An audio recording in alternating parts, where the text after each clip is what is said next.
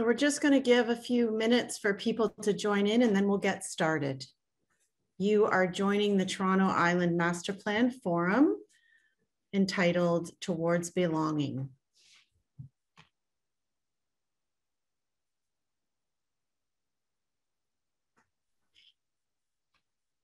Thank you, Laurie.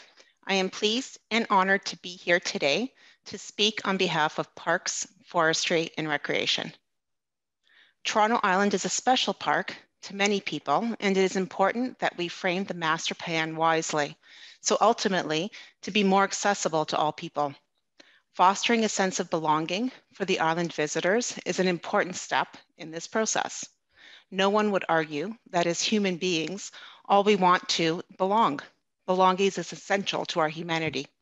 We are hardwired for connection. Connection reinforces our sense of belonging, which positively impacts our overall health and well-being. So what does it mean to belong? Belonging is a feeling that extends beyond inclusion. Belonging is something altogether different. Belonging is centered on tolerance, mutual respect, the sharing of experiences, and the celebration of the ways we are unique and different, as well as our similarities. In today's cities, parks offer a unique and special place to explore this sense of belonging. Parks act as a fabric that weave our city together, connecting one natural area to another or one neighborhood to another to create, create a rich network of shared spaces that support our daily lives. A city without parks would be like a city without a soul, a city without connections, a city without community. In Toronto, the city within a park, more than 1,500 parks have been and continue to be focal points serving, as the hearts of our communities.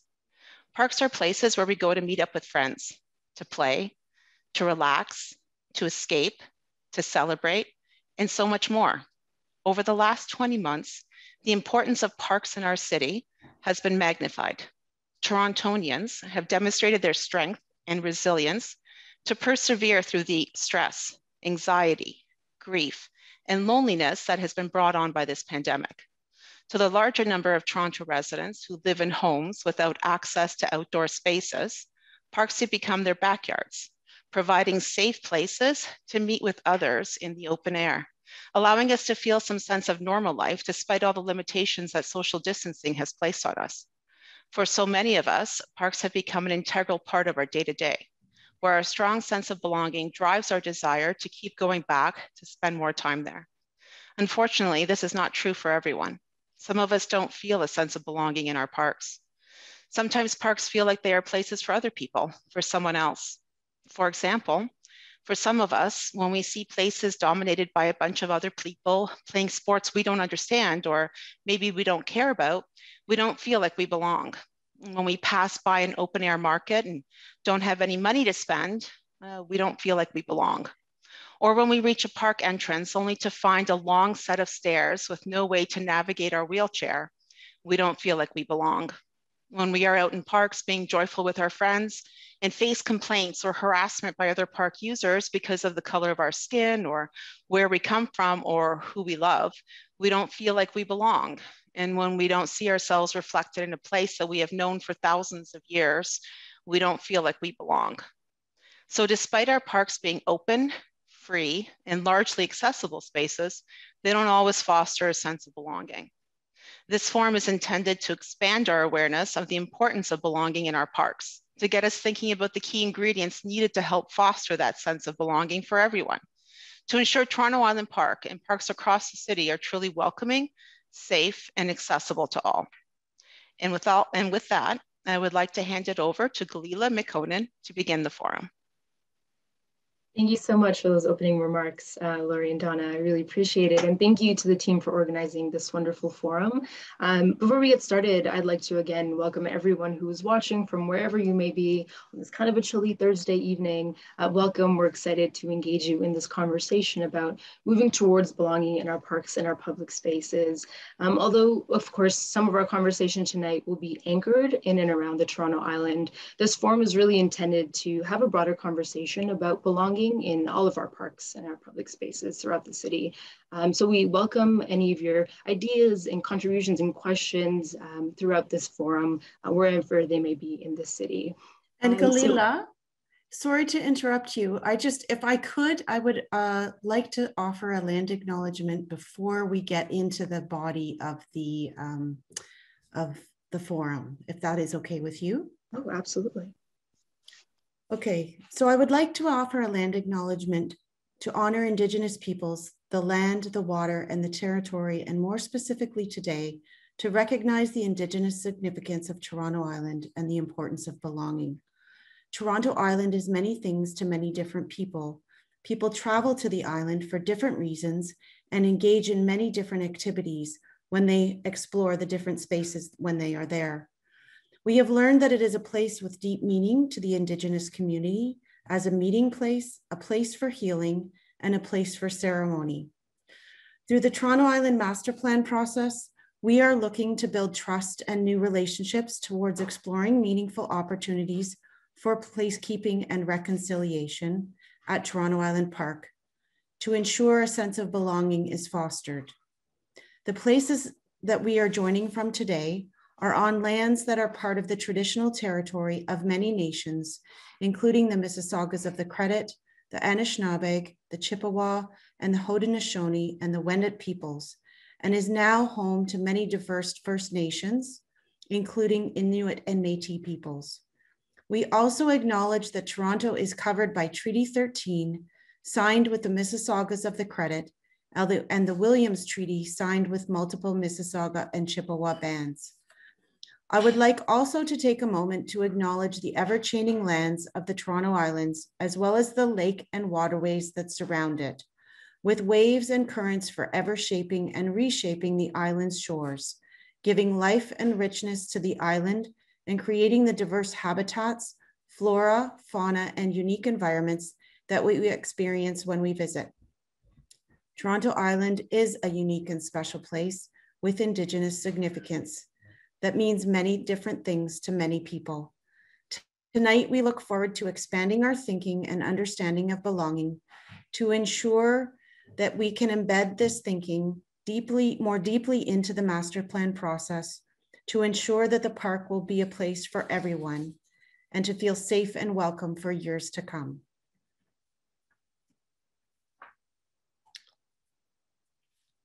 So before we begin, I would just like to uh, uh, extend a sincere welcome to everyone for joining this evening. And we understand how precious and personal time is, and we are very appreciative of the fact you have chosen to be here tonight.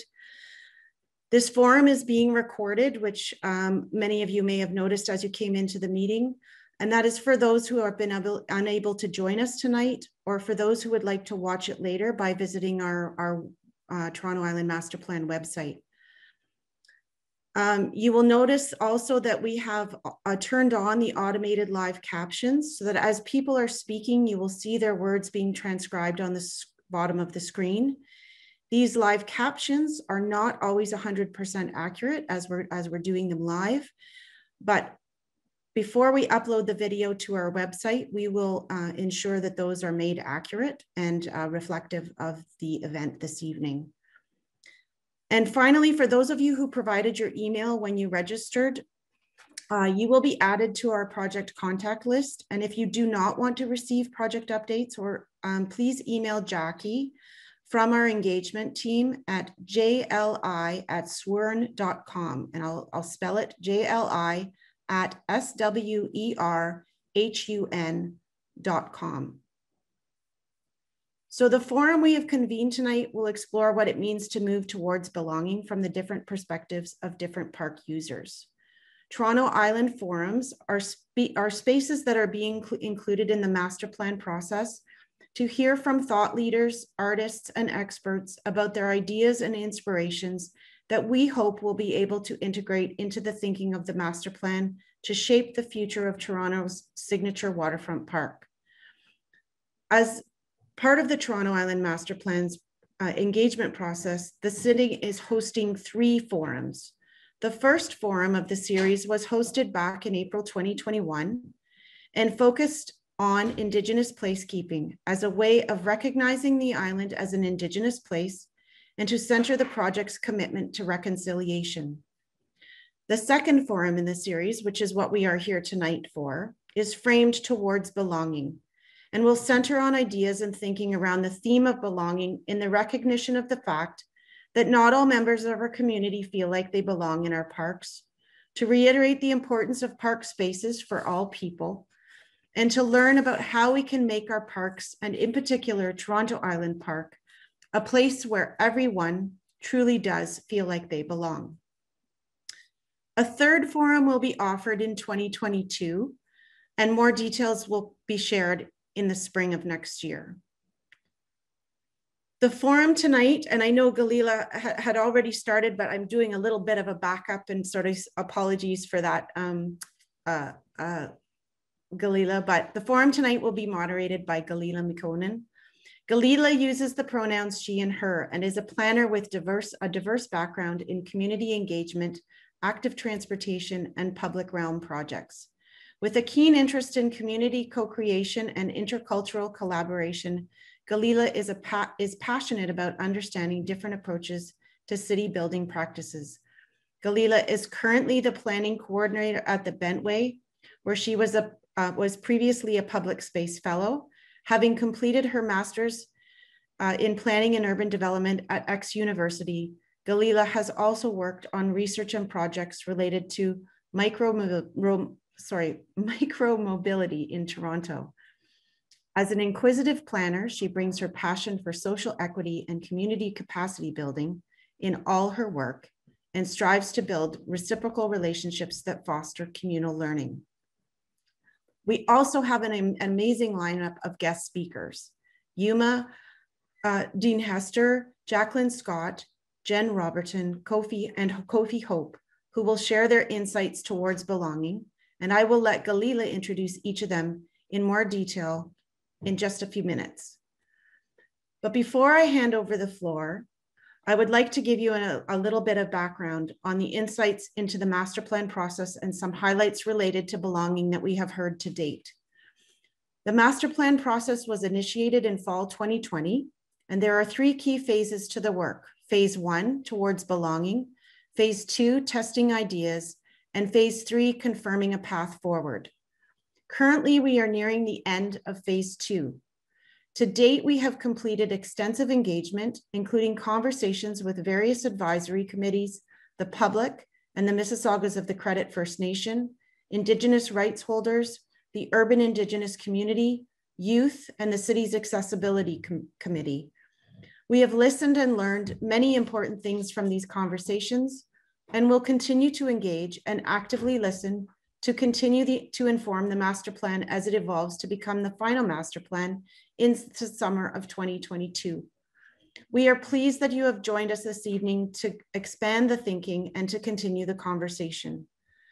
Through the Toronto Island Master Plan process, we have heard that Toronto Island Park is a cherished place to many people and that many people go there for many different reasons, but most importantly, as an escape from the city, as a place to recharge to explore and have fun. We have learned that the theme of belonging is important too. For example, a number of participants told us that it is important to ensure that the island is welcoming for all, for people of all ages and abilities. We also need to acknowledge and celebrate the importance of Hanlan's Beach as a safe, inclusive queer space, and that all the beaches, all the island beaches need to be accessible to everyone, both from land and water perspectives. We have also learned that the island is not accessible to all people and not everyone feels like they belong or can see themselves there. And we have heard that the distance to get there and the costs for travel, including the ferry, can be too high for some people, that it can be difficult to navigate such large spaces with no on-site on-island transportation that is accessible to people of all ages and abilities. That the lack of really good wayfinding means knowing where to go and what amenities and activities are available can be challenging. And we have also learned that the island is not always a safe place and as welcoming as we would like it to be. So early next year, we will be leading another round of extensive engagement. Please visit our project webpage, toronto.ca slash island master plan for more detailed information on engagement outcomes to date and updates and notices for future engagements through 2022.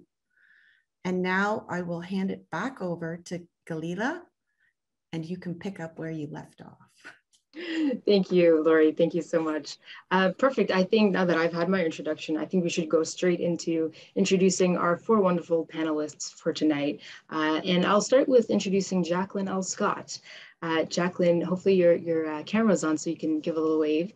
Uh, Jacqueline is a PhD student at the University of Toronto in social justice education, uh, where her research is on the perception of wilderness in the Black imagination. Uh, in other words, how can the outdoor recreation and the broader environmentalism uh, be more accessible for Black Canadians? Uh, Jacqueline is a writer and she's also an, an avid outdoor fan, so welcome Jacqueline.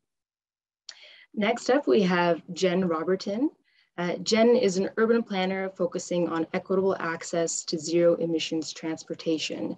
Jen has a master's degree in planning from the University of British Columbia, uh, where their research focused on creating safe public spaces for LGBTQ communities. They also have a bachelor's degree from the University of Toronto, and they are also certified uh, with the American Institute of Certified Planners. Jen previously spent five years working in sustainable transportation in public service at the City of New York and the City of Toronto. And prior to this, she worked at, uh, in the nonprofit sector, providing resources for community members to learn bicycle repair.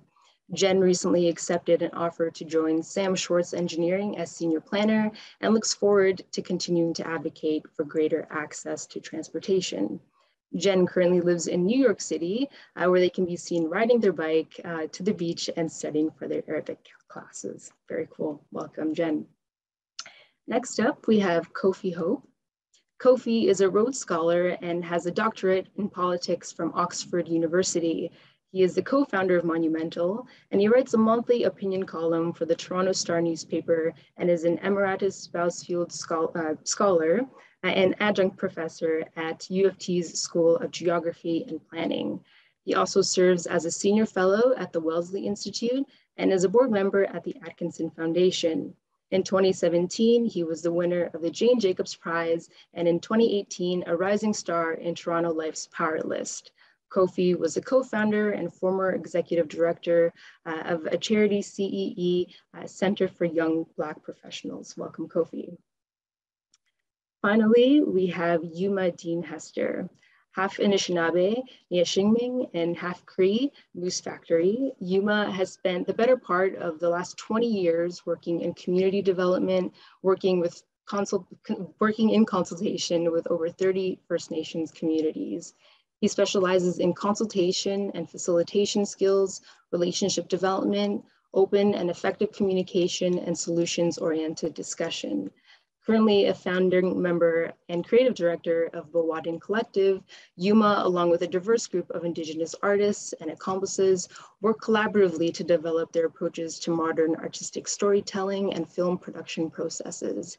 It is their goal uh, to constantly adjust organizational structures and modes of storytelling to create inclusive, uh, mindful spaces that better represent Indigenous peoples in the mainstream. Welcome, Yuma. So with that said, uh, each panelist will have about 10 to 15 minutes to present uh, or speak uh, and share their insights and contributions uh, around the discussion of encouraging belonging in public spaces. And importantly, uh, we'll also be able to discuss uh, how the city might be able to embed this thinking in the Toronto Island Master Plan to create a park that's truly open and accessible and welcoming for everyone. Um, so I'm just as excited as everyone watching to listen directly from the speakers. So with that said, and without further ado, I'll welcome back Yuma, uh, who will be our first presenter for this evening. So Yuma, whenever you are ready, the floor is yours. Brilliant. Thank you very much. Um, yes, my name is Yuma Hester. Uh, I'm based here in, in Hamilton. Um, and as previously mentioned, I'm half Anishinaabe from Niashingman, which is up in the shores of uh, the Georgian Bay.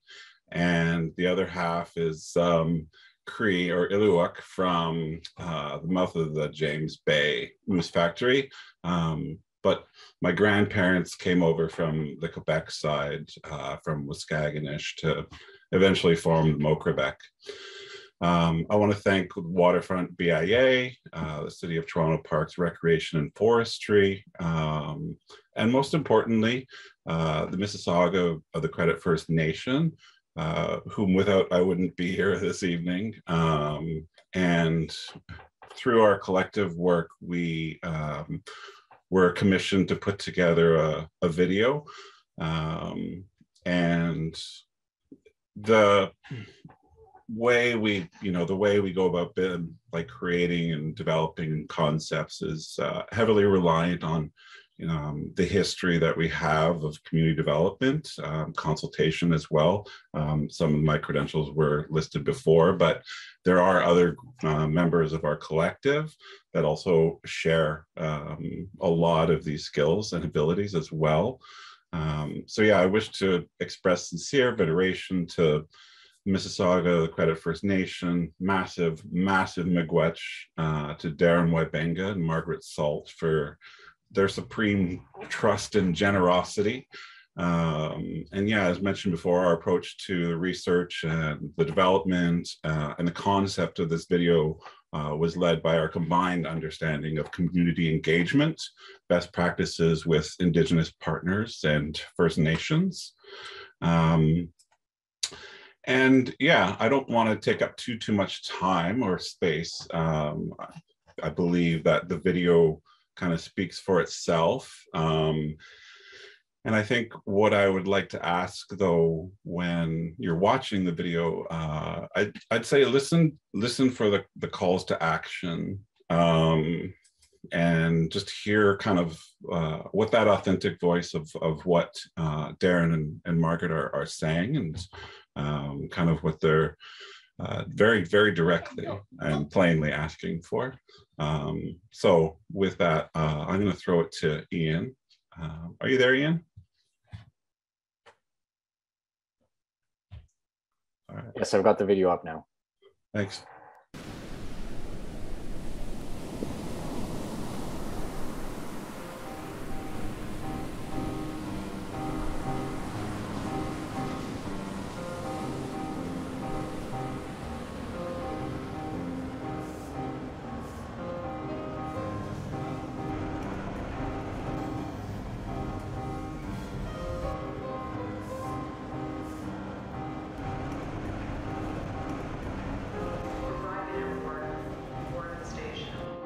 Love the power of water, and of course, water is always very important to, to our people, you know.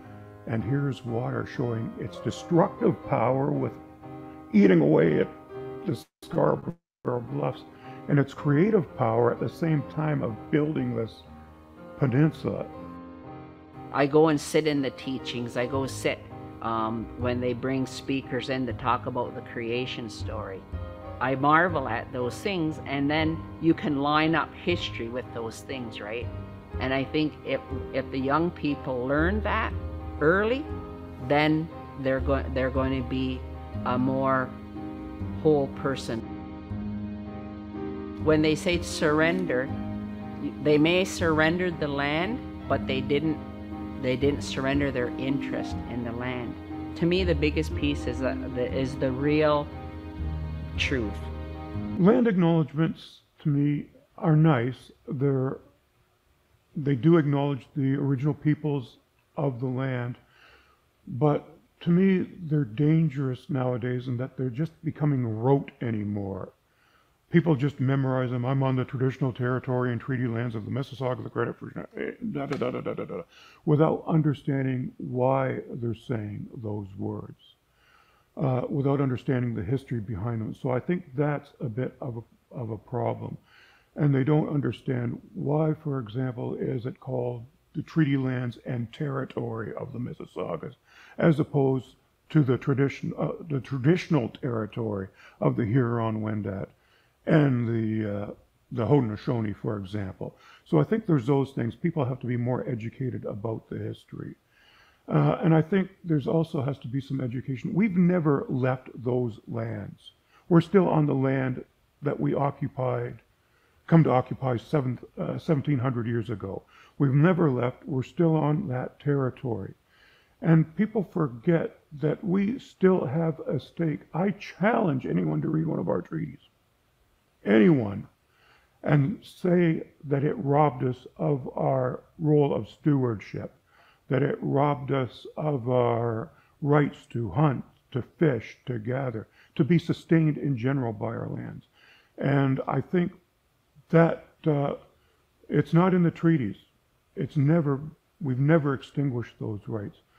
So I think that's something people have to be mindful of. Either modern people in Toronto, yes, you've covered it over with concrete, you've put buildings up and so on. But that does not abrogate our rights to be sustained by our land.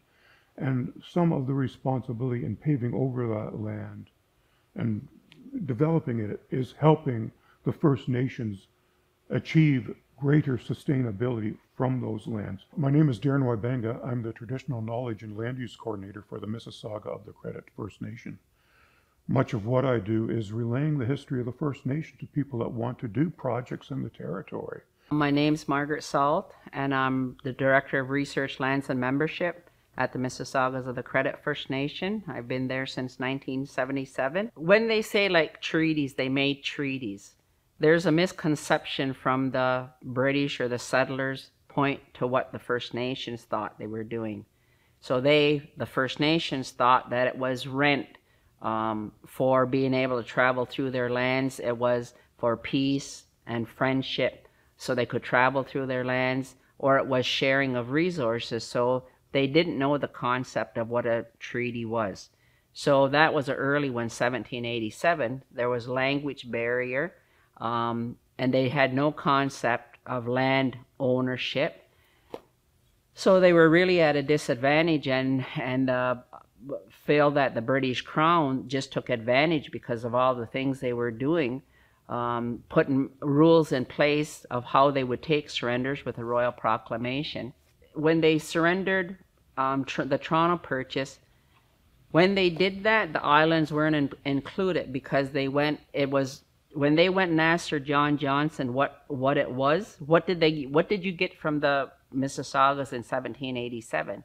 And he said a 10 mile square, two miles on each side of the carrying place, two to four miles, he says, right up to Lake Simcoe. And then at Lake Simcoe, there was another 10 mile square.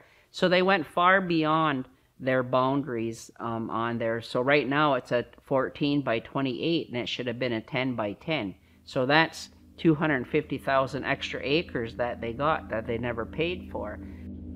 But back uh, when we first came to occupy the land, about give or take 1700, you know, Toronto Islands, there, there were some healing properties there that our people discovered and found work for them. So and they would go and bring uh, the sick to go and get some healing there. Uh, and that's amazing by, in itself. Here's this piece of landscape out in Lake Ontario that people used to bring the sick to, and they used to go and recuperate. They found, in the 1700s anyway, something appealing about the location, something appealing about the climate, the weather.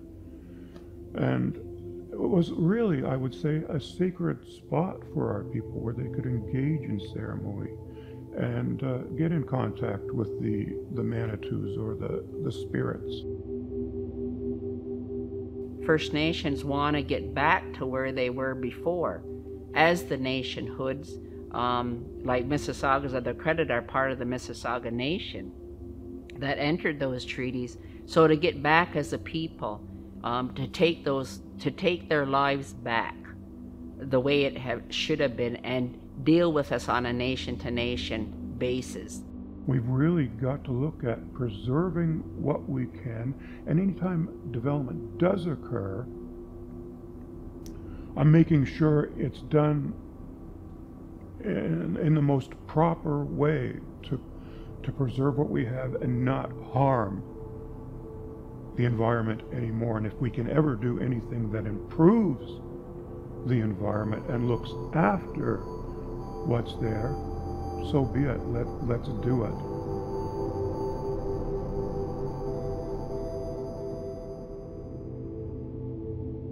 I would like them to keep a part of it in its natural state and let the animals come back, let the fish come back, and uh, um, try and make that as it should have been.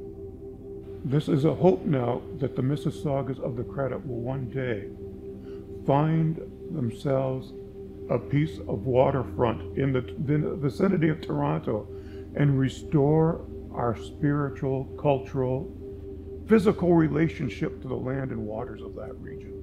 Our responsibility is protection and preservation because we were given the task to uh, stewards of the land. You know, so I think the First Nations has a duty to make sure those things keep in place, um, that we can have a say and, and things that are going on in the, in the development, whether it be like fishing or or anything like like um, the nuclear plants, any of the big plants of what they put in the water and stuff. Because you know what, the water is is the life. I think they have to go back to the traditional ways and go back to the elders that know those things. The way things were, how to look after things. And I think if they do traditional knowledge, which they talk about, that actually incorporate traditional knowledge in their decisions of when they're doing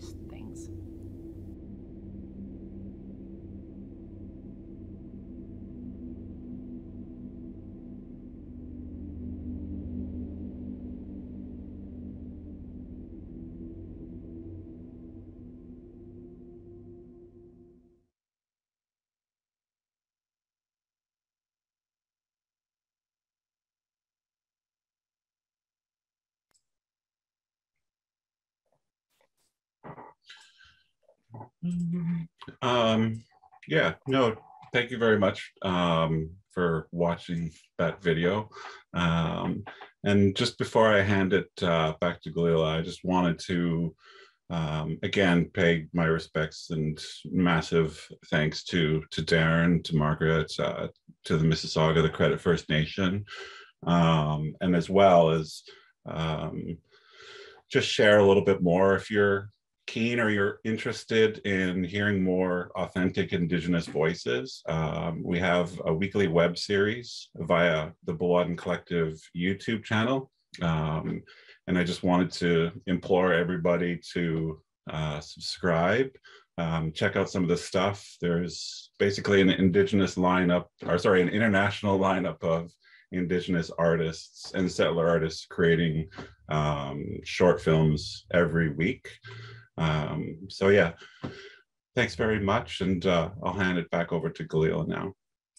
Thank you so much, Yuma. That was quite a beautiful video. Um, quite inspiring. Um, so next up, I'd like to welcome Jacqueline. Um, so Jacqueline, if you are present, yes, there you are.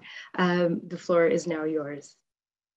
Okay, thank you very much. And could we start the presentation, please?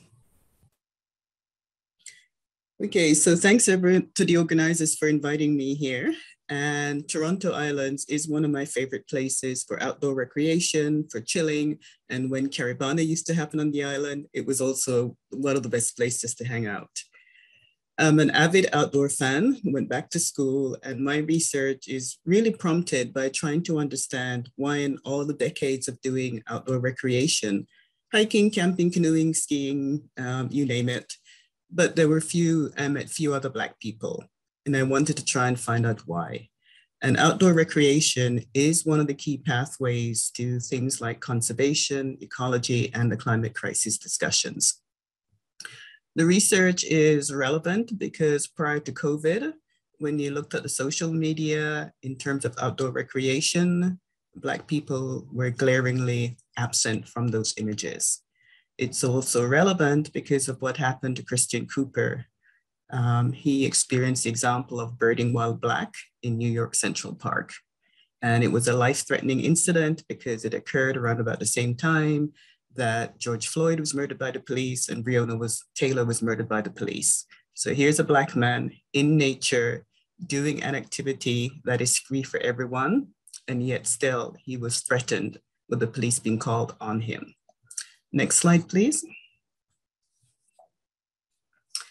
And in view of that wonderful video, um, my little land acknowledgement is to point out the long Indigenous presence in Toronto and other places as recorded in everyday objects like the street names, like the historical plaques, which are now doing a better job of acknowledging that Indigenous history and Indigenous presence, and also in the murals that we see every day.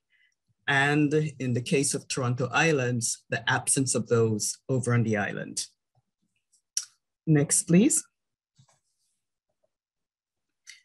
Now, my research is built on three things. It's looking at how race, place, and nature, how they intersect in Canada.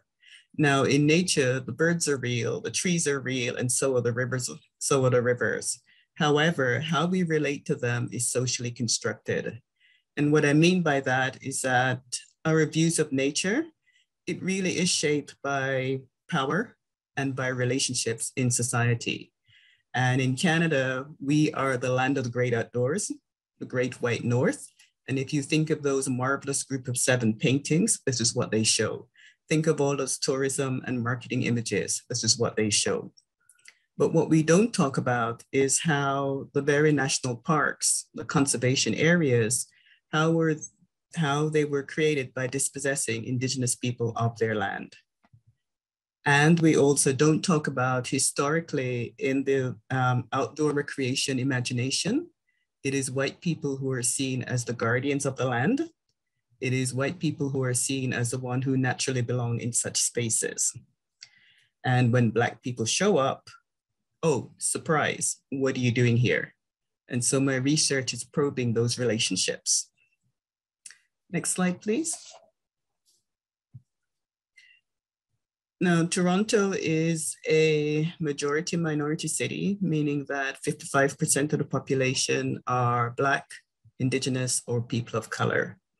And a quick test that um, we often use is that if the people visiting your parks, conservation areas, the eco schools, all those environmental days activities, if they don't look like the people that you typically see, see on a Toronto subway, then that's a pretty good indicator that there are barriers in their way. Prior to COVID, again, if you think of the media around outdoor recreation, environmentalism, or the climate crisis, or visitors to Toronto Island, except for Caribana, who did you see in those images? From an academic perspective, it created a kind of visual apartheid because typically the people that you would see in those areas were white. It reinforced the idea that when it comes to nature, when it comes to outdoor activities, it's a white thing done by white people in white spaces. COVID has entirely flipped the switch. One of the outcome of that is the massive increase in people of color using outdoor spaces, including Toronto Islands. And now you're seeing more of us in the social media images of the various organizations. And that is really a good thing. But if it only stops there, then it just smells of typical tokenism. So it's around who do you see on staff? If you're over at Toronto Islands, if you're in the Parks, Forestry and Recreation Department, if you're in environmental organizations, what do the staff look like? Do they reflect Toronto's diversity? And when you go to the boardrooms, what do the staff look like there as well? Again, staff or volunteers, do they reflect Toronto's diversity? And if they don't, it perpetuates the power and the privilege and reinforces the idea that when it comes to outdoor recreation, it's a white thing. Um, next slide, please. So in the Canadian context, Black people are written out of the environmental history. And when we are mentioned, it's usually in terms of Harriet Tubman and the trek to freedom in Canada. And uh, I'll just speak a little bit about Harriet Tubman. So we're used to thinking of her as quite rightly as the civil rights leader, the equivalent of the Black Lives Matter leader. But from an outdoor recreation perspective, she was also a phenomenal um, backwoods woman in terms of the skill that she had in order to read the landscape, for the number of treks that she made, going different routes, hiking over parts of the Appalachian trails, Um, her ability to survive in winter, because typically the slaves would leave in the winter and at night, because you gave you a longer head start against a slave catcher, but you're using multiple different routes. And in order to do that, you have must have phenomenal skills in order to be able to read the land and figure out where to go. And if anyone has ever tried navigating by the night um, by following the North Star and at night, um, it takes a lot of courage to do that. Next slide, please. So representation does matter in outdoor recreation in places like Toronto Islands. It matters in the signage, it matters in the trail maps, it matters in the brochures, it matters in the staff who you see on the ground. Because for Black people, for people of color, if you don't see others like yourself trying new activities, it creates a kind of negative feedback loop that you're unlikely to try it. And so the more people of color that you see in those jobs, then the more it's like, okay, if they can do that, I can try it. If I'm not sure, I can ask. And when I ask, it's going to be, oh, you don't know, as opposed to getting the look, the white gaze, which says, oh, what are you doing here? And next slide, please.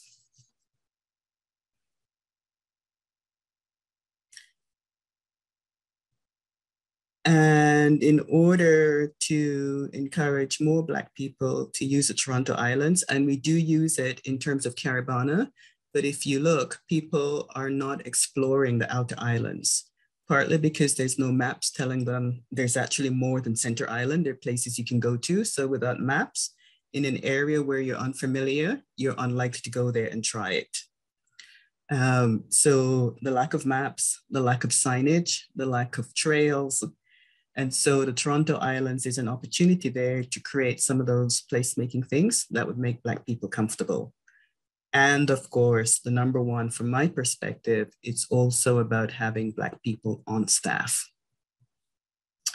And next, please. And very quickly, I've done a few interviews and written up some of the research. Um, I've done interviews and what I find interesting is that if you look at the various um, newspaper reports on interviews and research that I've done, it's the comments that's really intriguing because the comments show the massive gap between what the research is saying about the lived experience of Black people in outdoor recreation and the old image that, well, it's nature, it's free, anybody can go. That's not the reality for Black people. And the next slide, please.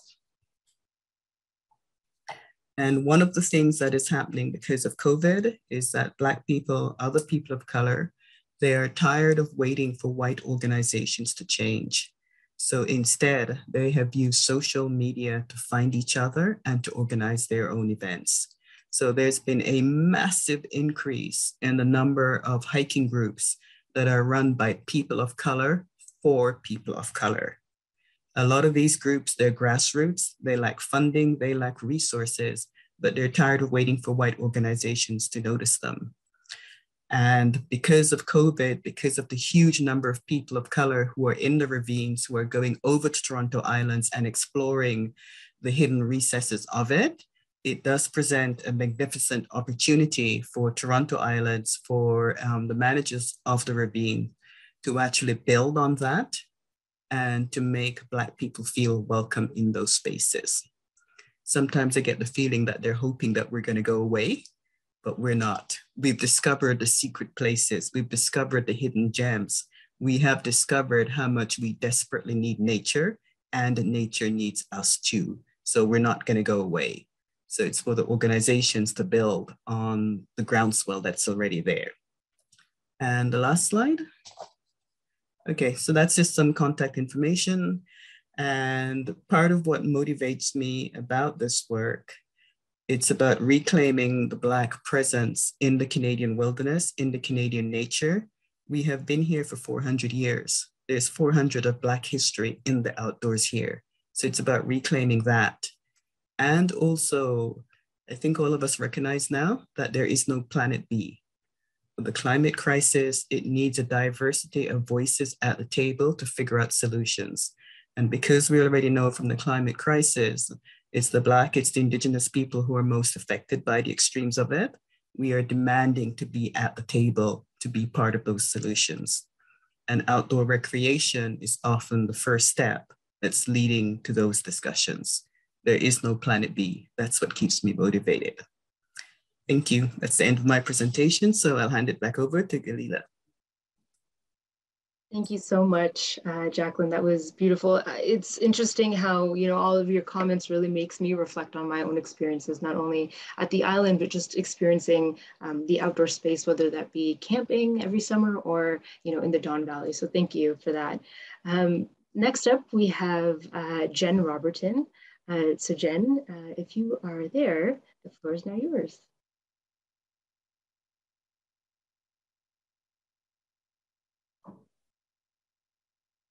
Great, thank you. I, I, believe I have some slides as well. I don't know if we're having a tech problem.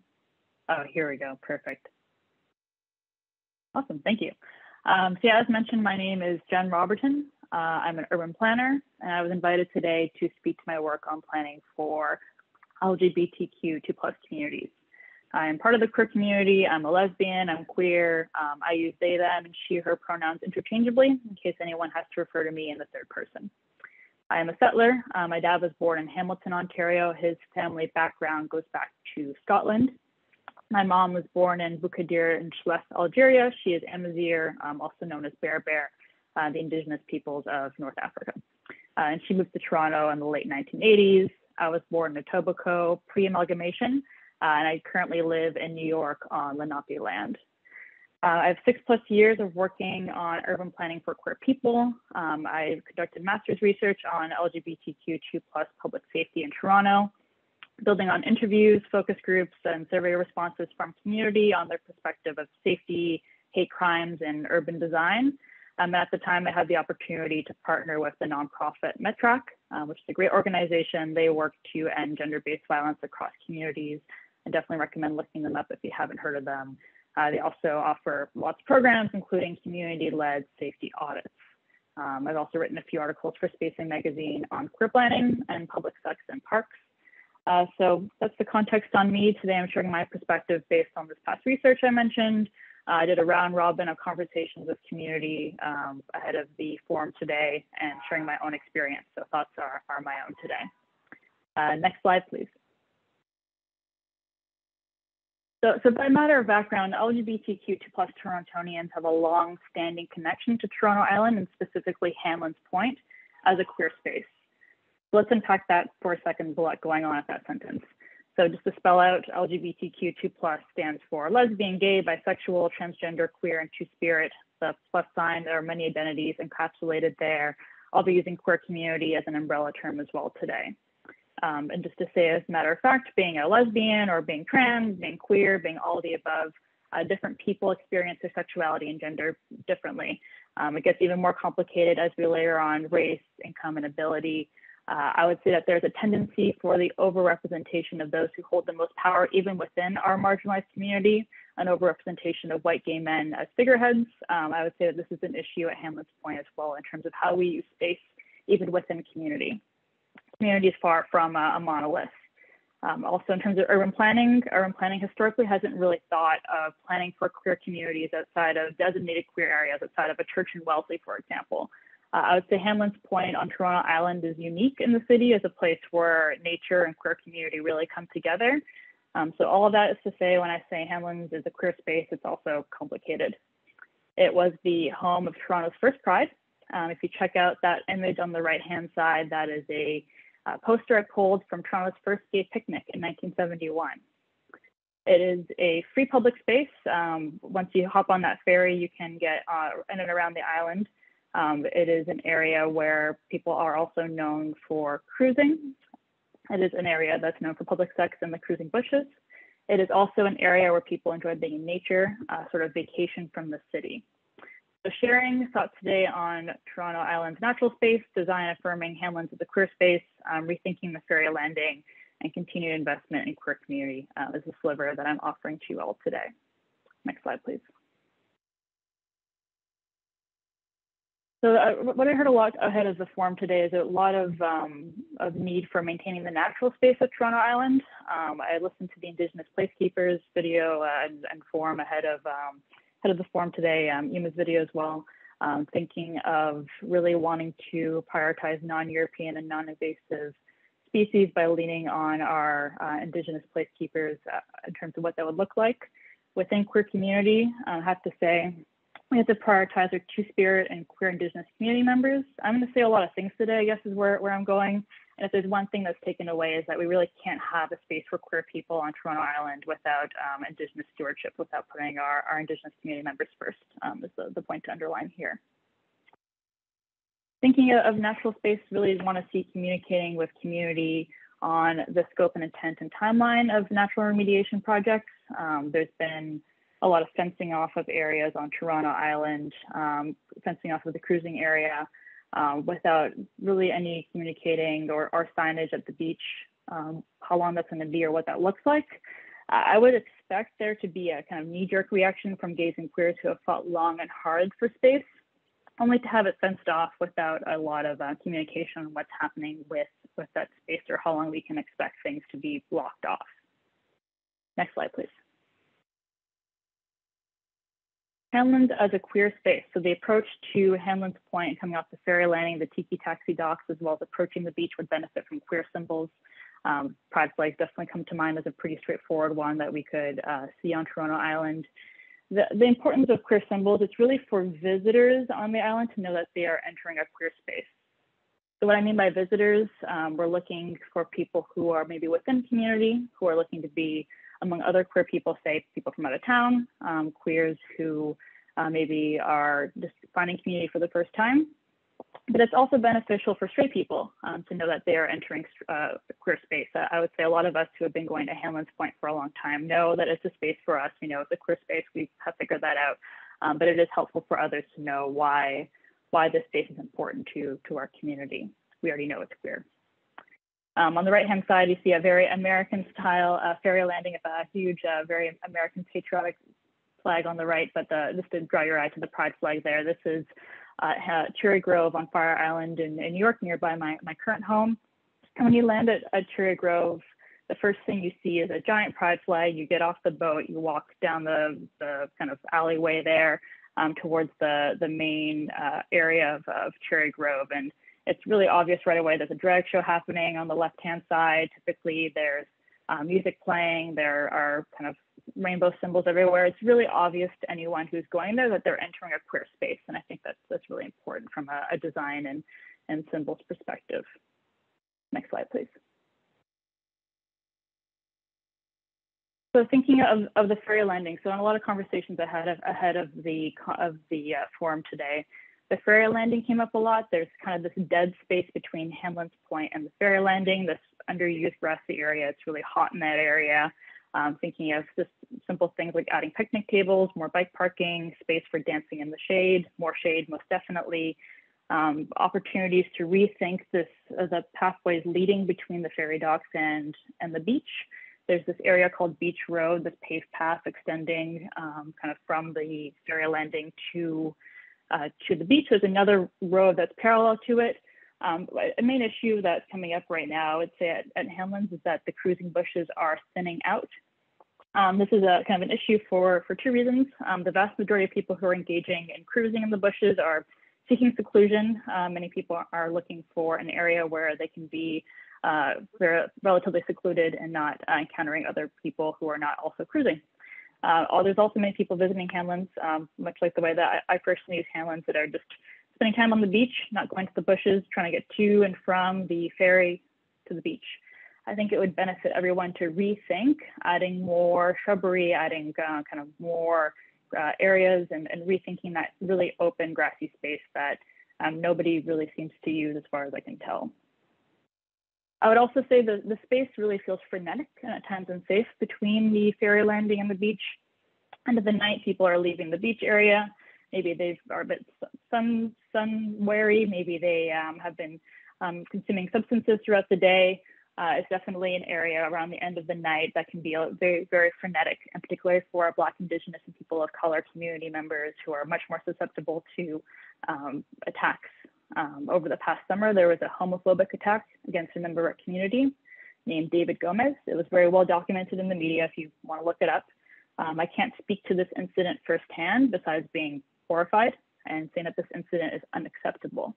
And to say, I don't think that adding pride flags or redesigning the ferry landing will end homophobia or end transphobia, but there are definitely things that the city can do to invest in queer community. That takes me to my next slide, please.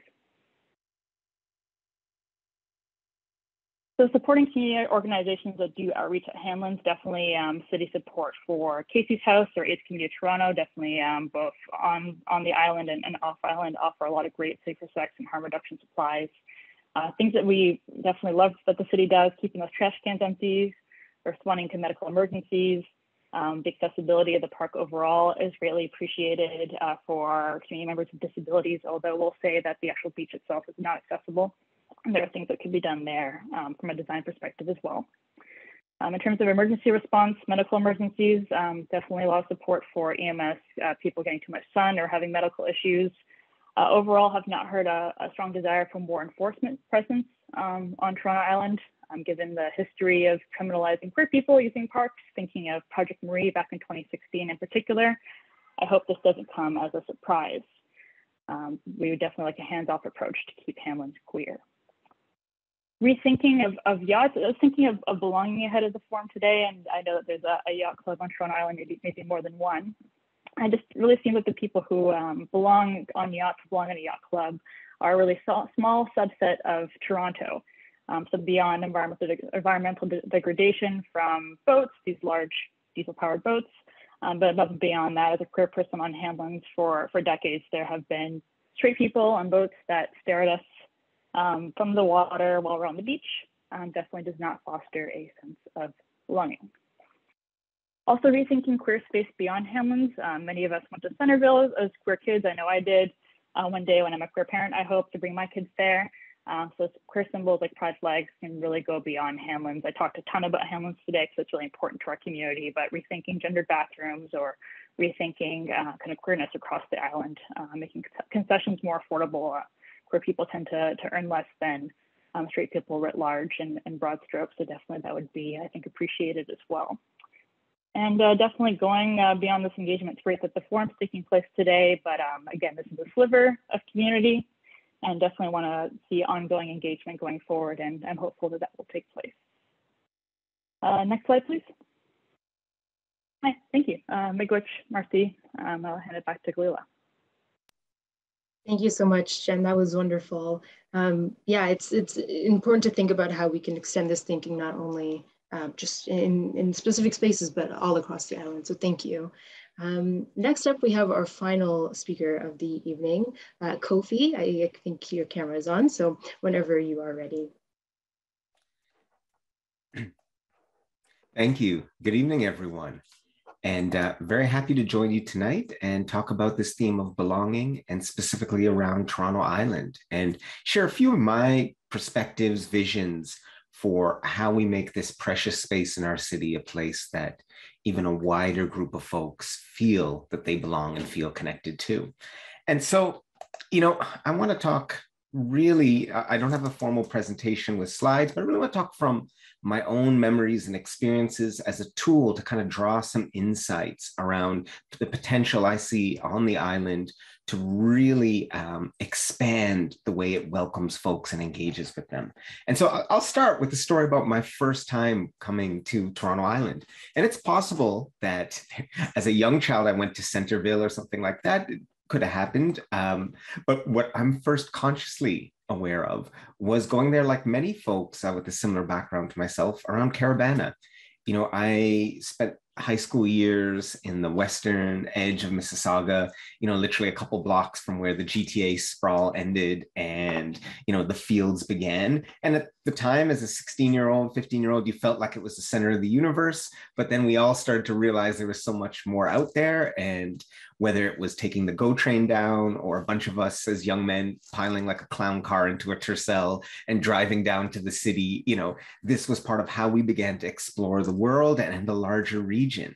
And Caribana was what we really lived for as young people. You know, in the late 90s, you'd go down, hang out on Yonge Street, all of those pieces. Um, it was part of our exposure to the wider world. And like many folks mentioned before, it was around Caribana Sunday where they used to always have a fete on the island. That was my first introduction. And I can remember that day. I think I would have been 17, was with two of my friends. We had never been to the island before. We kind of found our way to the ferry terminal. Somehow we got there.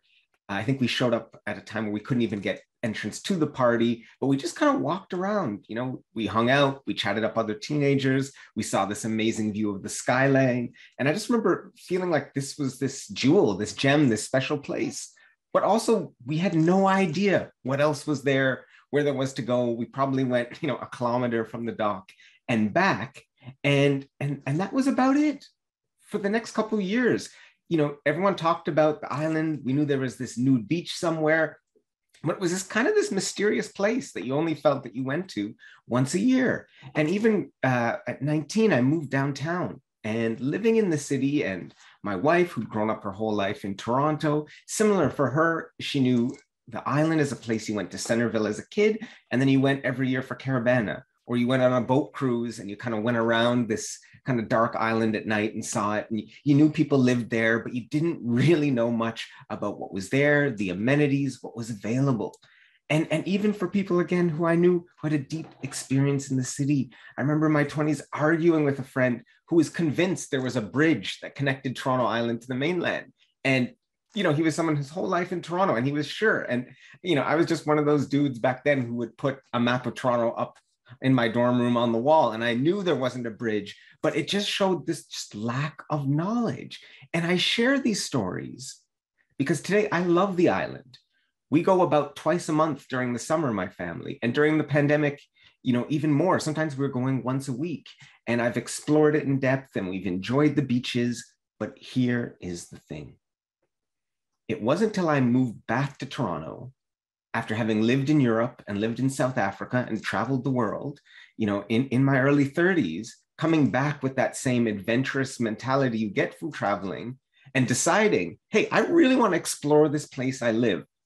I really want to see every pocket and nook and cranny of the city, that I got to know the island you know, I literally came back and did exactly what I did in foreign cities. I went, I got a Lonely Planet Toronto. And like a tourist, I read through and found out about places and went out of my way to explore. And that, my friends, is a problem. Now, you know, maybe I'm weird or unusual. Maybe many people on this call here have had a lifetime of experiences exploring the island, and, and my experience seems really out of the known. But I know from many folks I've worked with, with young people I've worked with, specifically working class folks, racialized young people who live in the inner suburbs, there is a massive gap between the wilderness areas and natural attractions in this city and marginalized communities. And we do a really poor job as a city at closing that gap. And last summer, my business partner, Zara Ibrahim, and I, we launched an entire campaign called All Out Canada, which was just around this theme of getting more racialized folks into wilderness spaces and you know building on that amazing work that Jacqueline Scott and others have done in the space. And, and the themes and the learning from that campaign connect directly to this conversation. And so to start, I'd say, if you want to create a sense of belonging for communities, a prerequisite is that people need to know about the spaces. They need to understand how to get to the spaces and move around the spaces and maximize their enjoyment and the experience there. Because without that, you know, people won't go, they can't go, or they'll have a very limited experience, and you can't even talk about belonging. And so, you know, let, let's go into detail around some of these pieces. Why is it that people like myself who are living in Toronto for years never had any full understanding of what was on the island. Why is it so many young people that I know maybe have gone once in their life but don't see it as a regular place for them? Well, part of it is that we do a pretty poor job in the city of raising awareness of folks about these kind of local amenities we have. And to be honest, I think a lot of the root of it is the lack of a use of an equity lens when we think about our policy around parks and other natural areas. You know, historically, the folks who've managed our essential public assets, who create our policies, who create the programs, they tend to be educated folks, predominantly white, and overwhelmingly middle class people. Those are the kind of people who in this city have grown up with that insider knowledge about these natural spaces, whose parents took them to the island growing up, who've had experiences hiking in ravines, who've taken a kayak out on the Humber River before, whose families, you know, now go on Sundays to the brickworks for the farmers market. And when that's your lived experience, it's easy to assume that other folks have that same experience.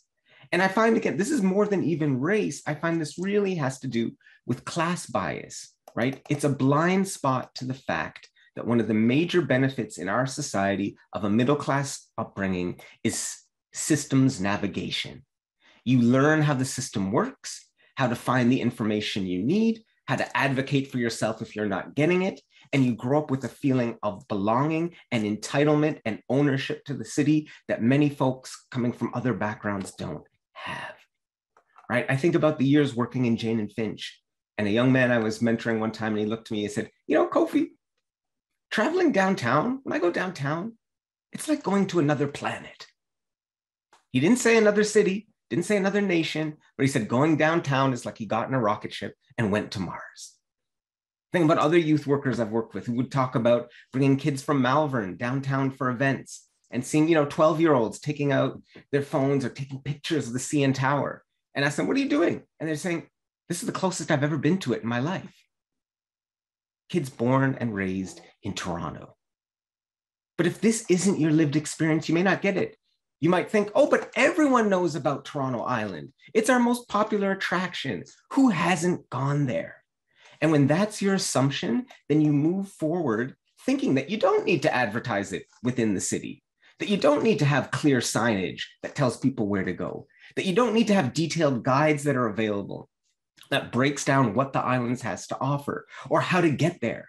Right. And that's one of the simplest pieces. I remember multiple times when I would try to go for Caribana or other pieces as a young man at the ferry terminal, you know, when you're waiting in line, trying to ask people questions like, so, so how do these tickets work? Am I going to be able to get a ferry back at night? What's the difference between Hanlan's Point and getting off at Center Island? And my experience typically was getting rude answers from folks, was getting rushed through, was being disrespected. People being like, why are you wasting time if you don't know what you're doing here? And so that's a first piece to belonging. We need to stop assuming everyone knows about the islands and what they have to offer and work from the assumption that there are significant portions of our population in this city who have a very low awareness about what's happening in the islands. And we need to directly market and communicate to these folks what is available there. And when you arrive at that ferry terminal, you need proper customer service. Now, I admit my experience has gotten a bit better over the years. Maybe that's because I'm showing up with more knowledge. But whether it's ambassadors who are standing out by the lines to help people who are there for their first time navigate a trip to the island, or display boards at the front, or videos that are playing kind of key highlights and key information for the island, you know, there's so much more we could do right at the start to help people understand how to maximize their time on the island right? We need to stop saying, well, you know, people can just go online before they come. They can figure out what they need to know. And we need to get more proactive. Having insider knowledge should not be required to enjoy the islands. And so, I'll uh, give another reflection I've had over the last year and a half, because as I said, we were extensively at the island this summer. And one of the things I can say, you know, from going there and, you know, using that participant observation I got trained to do in, in my graduate studies is I just watch the people and how they move through the space. And the one thing I can say, when you go from, you know, kind of on Center Island from the ferry all the way up to the pier. That is a space these days that is full of racialized folks, that's full of newcomer families. It was actually packed this summer to the point it was uncomfortable, but it was full of people from diverse backgrounds eating, playing, some folks on the beach, lots of folks at Centerville, and that was great. And I think if we think about this continuum of engagement, you know, that's the next step up. You've got the folks who don't know about the islands at all and rarely go. And then the next level is the folks who just know about Center Island. And there's lots of people like that, and that's great. It's increasing. But when you start heading over to Ward's Island, to Ward's beach, which is my personal favorite beach on the island, suddenly the crowd changes. You get far less newcomers. You get far less people in general, far less racialized folks. And the same thing around Hanlan's and the open spaces on the other side of the island, where there's great beaches, great park spaces. But again, you don't see many folks who are there at Center, Center Island venturing out to those parts. And so when you reflect on this and think about the difference of who uses different parts of the island and who enjoys other beaches and spaces, you need to realize that many folks go there and need support to experience the full range of things to do. And we talked about knowledge gaps and having good maps and clear maps, that's helpful. But there's a couple other things to think about. You know, one is transportation. Obviously, paying for the ferry is a barrier for some, and there need to be thoughts about that to just make it more accessible for folks to get there who finances are a barrier. But also, the reality is the islands are big. You know, I've done that walk from Hanlan's Ferry over to Center Island before. It's a long walk. I'm sure there's people here who've done that. It, it takes a while. And to me, there is no reason why you can't have some form of zero emission public transportation on the island. Even if it's like the kids' train at High Park or Little Shovel, or Little Shuttle, rather. I'm not saying you have a big bus or light rail or streetcars, but right now, the people who move around the island, including myself, are the folks who bring bikes. You know, we were lucky to be in a position where when COVID hit, our family invested in really nice bikes. I got a bike seat for my daughter. And that was what opened up the islands for us. That's what turned us into island insiders, being able to show up at the docks with our bike and then cruise around for the day, explore, find different places. And that's not an option for a lot of folks. But of course, we know what an option is, and that's renting bikes. And you can do that on the island. But to the life of me, I don't understand why you have to walk all the way from the ferry to the pier to rent bikes, and that bikes aren't available all months of the year. I remember one time my boy Hashi came from the UK and it was in the fall. I said, let's go to the island. I think we can rent a bike. We'll just spend the day and get there and walk the way and find it's closed. And so mobility options and expanding them is something we really need to think about. Because one thing we learned from the All Out campaign that I'm sure many of you know, critical to enjoying natural spaces is all about gear. The better gear and more appropriate gear you have, the better experience and the more likely you are to return. So I think with the islands, we need a principle that everything you need to enjoy the islands should be accessible when you arrive, right? those carts that people use to pull their picnic supplies and sometimes little kids, why aren't they available to rent when you show up? Why can't you get the chariots to attach to your bike so you can pull your toddler? Whether it's swimming gear or beach blankets, sunblock, water, whatever it is, trying to make that as available to people right away so people don't have to search for it, so you don't have to come with it from home, allows people to have a more immersive experience. You know, if I can go to Algonquin Park and fairly easily get my whole family kitted up to spend the day biking across trails in Algonquin, why is it easier to do it there than it is at Toronto Island? You know, why? Watercraft, that's another huge one. You know, personally, I love canoeing. And with the All Out campaign, with all the racialized millennials we engaged with, so many of them said, hey, that's one thing we've never done that we want to try doing canoeing, right? And who doesn't love the idea of getting out on the water? And the little channels that run through the island, they're perfect for it. And I know, again, there are rental options, yes, but they're not easy and they're not well publicized. You know, I have had the chance to canoe on Toronto Island, and it was through one of those companies on the harbor front. You have to book in advance, and they water taxi you over, and the canoe's there. And, and it was amazing. I had a great afternoon with a friend, but it's not a well known option. And when I talk to friends who are, you know, pretty aware, they still believe the only way you can take a canoe or kayak to the islands is to rent it at the harbor front and have to cross that inner harbor. And so when I talk about it, they say, Kofi, you're crazy. I'm not trying to get capsized and lost at sea going over to the islands. And I have to explain multiple times no, but it is possible to rent a canoe there. You can do it. And when people hear about that, they get excited. But again, when you go to the island, these rentals aren't super obvious.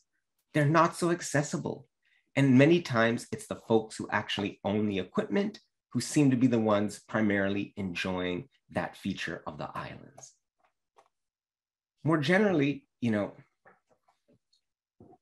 when I think about natural environments and the natural features of the place that are, is in this place that we live, you know, when we talk about belonging, really, it's about creating meaningful associations that connect you to the geography, that allow you to feel rooted on a deeper and dare I say spiritual level to the city, to the place, to the country. And despite the fact that Toronto's name, the, the root of the name of this city, references our many rivers, despite the fact that we're a lakeside city, that the lake is our major defining geographic feature, many folks in the city have limited engagement with the lakes or rivers.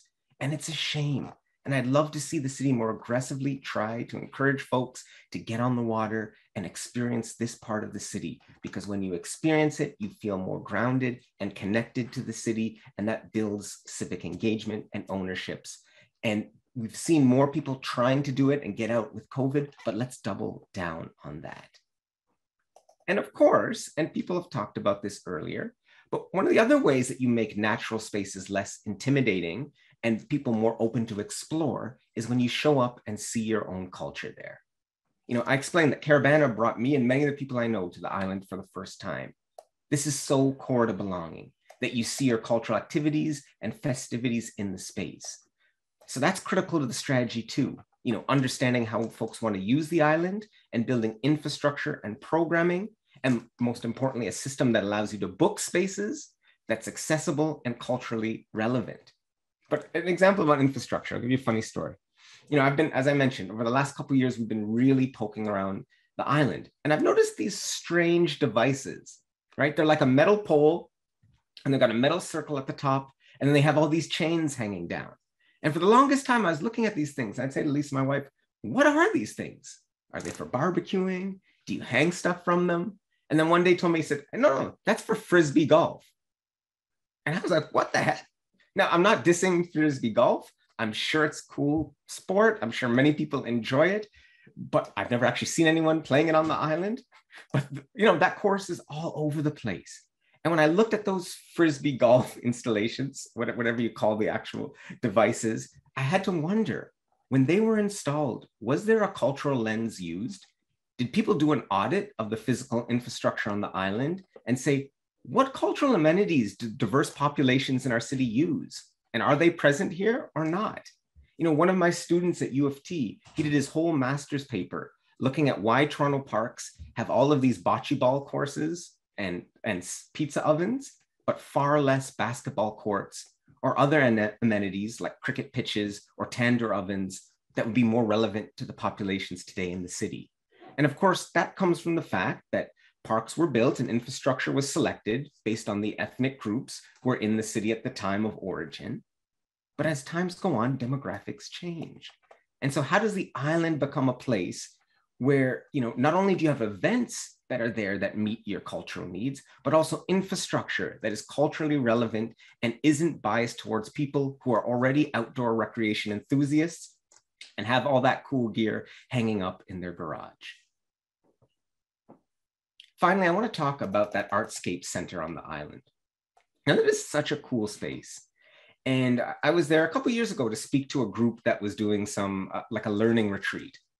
And I remember going to this space, I think it was an old school, I believe, that's been turned into this space that people can rent and, and, and do events.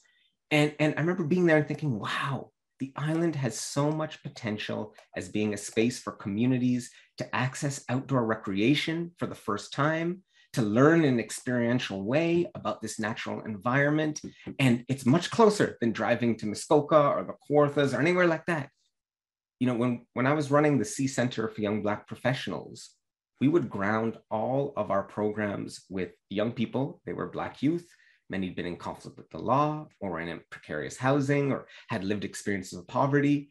And we would start these eight month cohorts that we do with them with overnight retreats in the wilderness. That was like our secret sauce Those retreats were essential to forming the caring communities that carried those cohorts forward and started people on a journey of personal transformation.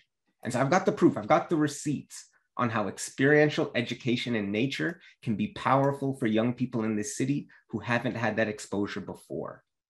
But as I said, we would have to drive an hour and a half, two hours outside of the city to do that work. Well, why not the island?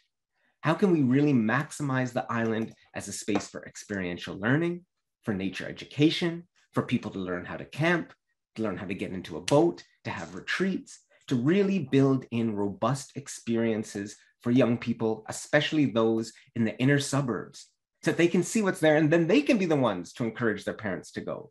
So that they can be the ones, you know, 20 years from now who can say, yeah, I spent three weeks learning on the island when I was 16. And now it's a place I'm bringing my own kids to because I feel this deep connection here. So, you know, recently, and many people probably saw it because I, I, know folks are here who are passionate about the islands. This uh, report that one of the yacht clubs you know, has a vision to redevelop their space. And they're talking about potentially adding workplaces and retail to the island. And, you know, that's interesting, but it's it's not part of my vision.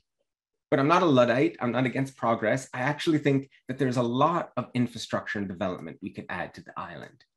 But for me, what makes me excited is the idea of more recreation spaces, more, as I mentioned, rental locations, new performance venues, places for outdoor cooking, places to learn about nature, places you could even stay overnight, to camp, more ways to move around. I'm all for that. We definitely do not need a mall on the island, but it certainly could use some significant investment. But investments that I described are all part of this larger mission of cracking open this space to a much wider group of people beyond just insiders, which now includes me, I'm including myself, but it needs to go beyond those who have figured out the code for getting the most around the island.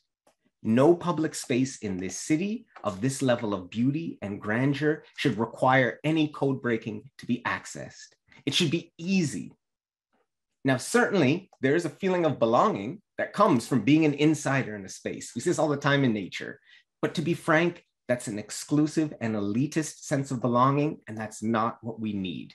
We need to focus on our islands, on creating belonging for as wide a swath of people as possible. And from the moment people arrive looking for the ferry or the water taxi to the very end of the day, they should feel that this is a space that's open, welcoming to them, and trying to facilitate their journey, not making them have to hunt for it.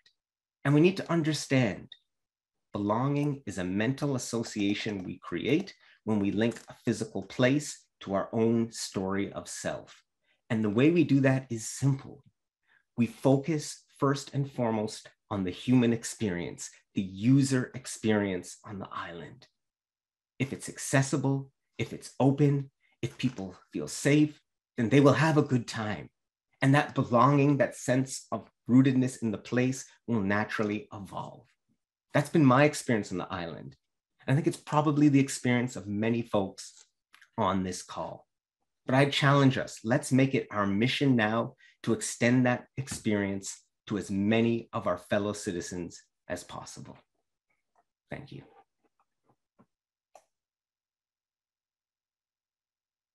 Thank you so much, Kofi. That was awesome. I really appreciated your your you know the way you described. You know, this should be a facilitating of, of a journey for folks and not not uh, a challenge. It shouldn't be a challenge. Thank you. So with that said, I'd like to welcome all of our speakers back. Um, I think everyone is back. Yeah, lovely.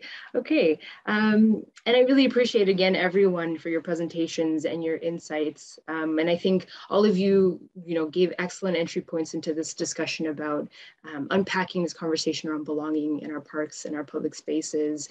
Um, and I think it fits really nicely and, and helps us and situates us nicely um, to dig a little bit deeper and to really understand how these ideas kind of overlap with one another and really how, uh, in fact, fostering a sense of belonging really relies on making sure that we see one another and we're having these dialogues. Um, so with that said, before we jump into our Q&A uh, portion, um, I just want to send out a quick reminder to everyone who is in attendance uh, that you can submit your questions using the Q&A box or, or, raise your hand. Um, if you do raise your hand, uh, I will identify you and you can hit star nine on your phone if you're calling in, uh, or you can unmute yourself um, and, and ask your question. Uh, but just to get us rolling, um, I'm gonna pop out a question for all of our panelists and maybe each can respond with maybe one or two sentences.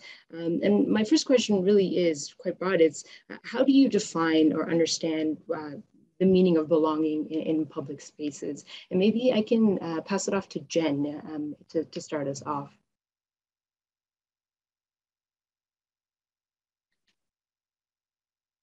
Definitely. So in terms of, of belonging, I, I think for me, belonging is seeing people uh, and seeing yourself reflected back to you in space. So being somewhere and, and feeling like people who look like you are in and around the, the space that, that you're in and feeling like feeling a sense of, of safety as well. Um, I would say those are the two things that come to mind, kind of high, high level. Yeah, absolutely. Thank you. I think that really connects nicely with what Jacqueline was speaking about earlier. So Jacqueline, did you have any uh, reflections that you'd like to share on that? Yeah, for me, belonging is when I show up, the staff look like me. It means that when I'm with a group of my friends, that I don't have to be concerned with, oh my God, is somebody going to call the police? Because a whole group of Black people are hanging out on the island. So that's what belonging means. I can relax with my friends without fear of being over policed, over surveilled. Yeah, awesome. Yeah, amazing. And it makes me at least think about, you know, sometimes, and the way I connect to this conversation is really, and I had expressed this to the panelists uh, when we first met. Um, a lot of the time when I explore, I engage in public space, sometimes it is on my own. And so, uh, of course, we can engage as, as a group, as a collective, but also understanding that we should feel you know, that we belong in public space even when we are on our own. Um, so thank you for that. Um, Yuma, would you uh, like to offer some thoughts? Sure. Um, the belonging piece, I think uh, for me, uh, the belonging piece, I think lands really, really close to the identity piece. Uh, I have a lot of experience working with Indigenous youth, um, and I feel like the ability to belong somewhere and have that strength in like your identity um, I think means a safe space where, where you feel, you know, like you're, you, there are no barriers. There's, you know, there's no hostility, you know, like kind of so what some of uh, cohorts are basically saying to be exactly who you are. And um, it's a safe space for that. Yeah, amazing. Thank you. And, and finally, Kofi, would you like to, to add anything as well? Yeah, I mean, as I mentioned, I think belonging is when you feel a space is part of your story, is part of your identity. Um, but I think belonging to me also connects to, to feeling welcomed. And that's where some of these pieces um, I think we've all been speaking about. Uh, that yes, it's very possible, as I said, to be super diligent and do your research and find out about where things are and look into it. But like anything in life, you feel welcomed when someone invites you in when someone doesn't bring you to the party and say, "Oh, figure out where the food is and you can find the washroom on your own and figure out where to put down your coat." Like, sure, we're all adults, we could navigate, but that's not a space you feel you belong. Like when someone welcomes you at the door and says, "Good to see you. Let me show you, you know, where you can put your coat. The washrooms are upstairs. There's a spread out here. What what do you need?" And I think there are ways we do that without having a physical person, but in how we build spaces and in the design that can make people feel that same degree of welcomingness. And I think that's a core piece to belonging. Yeah. Um, yeah, I totally, completely agree. Um, so just following up on, on some of your thoughts, I think a key dimension of, of this effort towards moving towards belonging is really about uh, reflecting, and many of you referenced this uh, in your in your in your pieces uh, that you spoke to earlier, uh, reflecting on place-based histories and understanding uh, the impact and the meanings that it has in our on our present and, and in our future.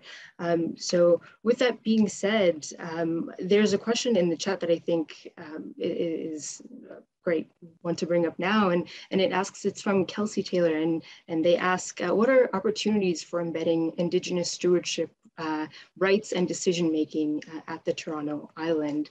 Um, and of course, anyone who uh, you know feels that they can answer the question, but um, Yuma, would you like to, to take that uh, question? Um, yeah, sure. I don't mind. I think I'm going to do something a bit coy, though. I, I will open it up to um, the other panelists and go back to you've all seen the video and you've all sort of reflected on that. And I think, um, what are some of those things that you took from the video that like um, Darren and Margaret specifically were, were asking?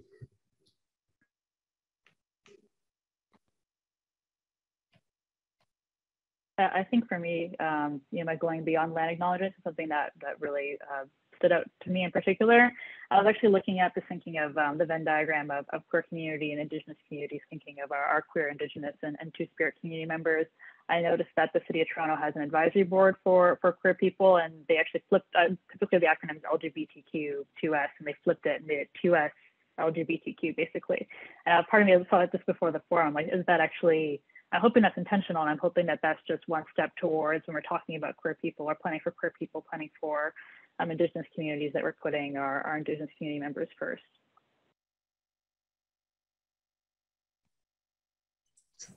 When I think on the practical level, it's about putting up much more heritage plaques, which talks about the Indigenous history and the Indigenous presence of the area.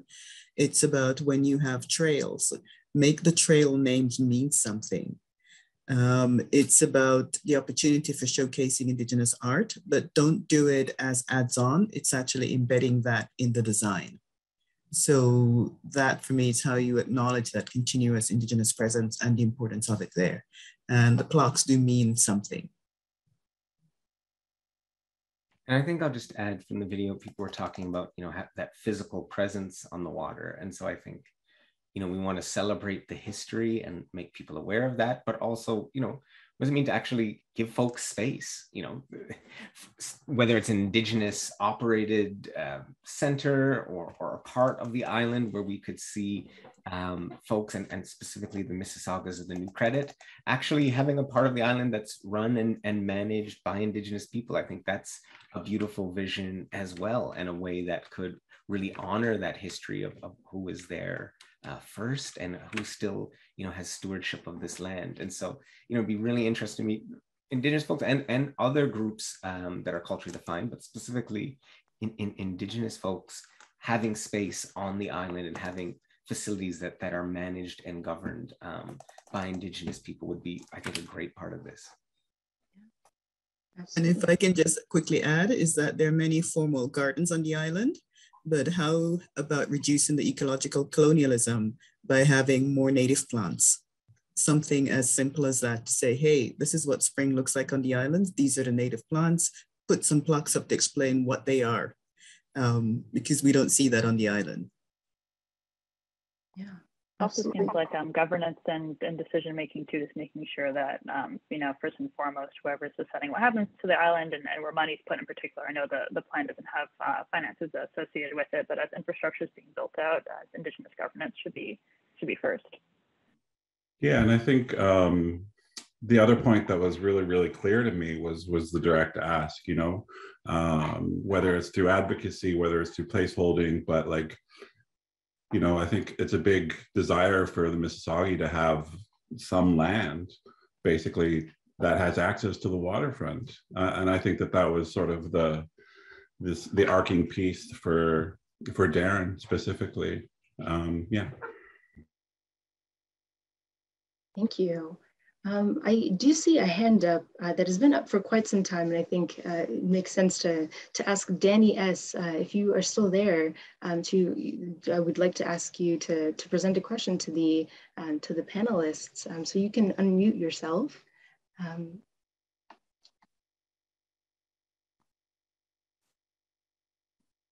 okay. Oh. Okay, I don't think uh, Danny is currently there, but that's okay. Um, uh, that is all to say, Danny has been uh, putting up lots of supportive messages in, in the chat um, or in the Q&A section. Um, so be sure that their support is, is certainly um, uh, acknowledged.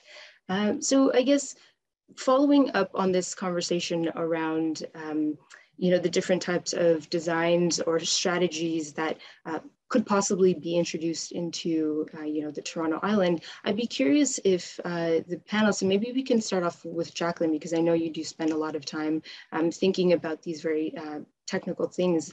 Um, I'd be interested to hear, you know, what are some initiatives or strategies or even designs that you think are great examples of belonging in parks, um, and whether that be in Toronto or, or more broadly, um, and how would you like want to see this concept of belonging be applied in in our in our parks and public space, whether that be at the island or or more broadly? Because I tend to be a history buff and I'm drawn to that. So for me, part of belonging is knowing the history of a place. And so, from a Black perspective, it is um, celebrating that Caribana on the island is was is still important to the Black community, and just something to say, yeah, this is how we make this place our own. So that would be important to me to acknowledge that. And also um, another thing I'd be looking at in terms of placemaking, it's more from an ecological perspective. It's the need for more trees to provide shade and there are some places on the island where it's open grasslands, um, not inviting to look at, um, and definitely not enough shade. And the climate crisis, we need all the shade that we can get. Mm-hmm. So it's the acknowledgement of the Black history, the commemoration of that, and then much more trees, and also adding some benches. Um, Jen, did you have any commentary on, on this in particular? I know uh, some of your thinking and some of the work that you presented earlier also spoke to, uh, you know, what are the types of interventions that could possibly be introduced to more make these spaces a little bit more uh, welcoming? Yeah, one thing I can add, uh, you know, I think I, I, went through some some designs uh, already, but one thing I can add, I think that a lot of the conflicts that come up on on the island currently, uh, whether it be physical violence, whether it be people who are are trying to enjoy nature, encountering people who are there for, for cruising, for example, it's not a ton of space that, that we have on the island, right? Like it feels like it is huge and, and going island, kind of one island side to the other, it's, it's not um, significant, but it just feels like so much of the space is just kind of like grassy, underutilized, really hot, no, no shade to Jacqueline's point. Like it's not really that pleasant to be in. And it feels like the, the more that we have kind of natural space, the more we're bringing back the actual indigenous natural space of the island. I, I hope that there is just more space for everyone to enjoy as well that will um, kind of address some of these these conflicts that do currently come up. Um, you know, Hanlan's Point's eroding. That's that's an issue. I, think writ large. It's not the only beach that's eroding to try to bring back the, the natural space um, definitely comes to mind. Thank you. Um, I do see another hand up, uh, and hopefully we can get to, to this question. So uh, Jennifer Grossman, uh, hopefully I pronounced your name correctly. Um, if you'd like to in, unmute yourself, um, you should be able to ask a question. Um,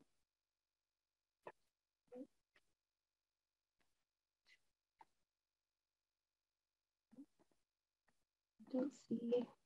Hmm. Okay. It seems as though that is a challenge. So uh, we will come back to you, Jennifer. But in the meantime, uh, I'll ask another question. Um, and this might show, shift our focus. Oh. Work? Did that work? Oh, yes, yes. Yay! Um, Welcome. Um, thank you so much. First of all, I just want to say I am very grateful for this panel um, I, I was clapping a lot and it made me feel really um, heard and understood. Um, so I'm very grateful for it. Uh, my only comment that I would like to make tonight is that um, I think a lot of conflict um, in some of the conversations that I'm a part of and that I witness has a lot to do with a lack of understanding of the different ways in which people and different cultures celebrate space, public spaces, and what they value and how they utilize that space, whether it is a barbecue, um, gathering with friends to dance over music, um, to um, be within nature to do these types of activities that other people feel um, don't belong in those spaces.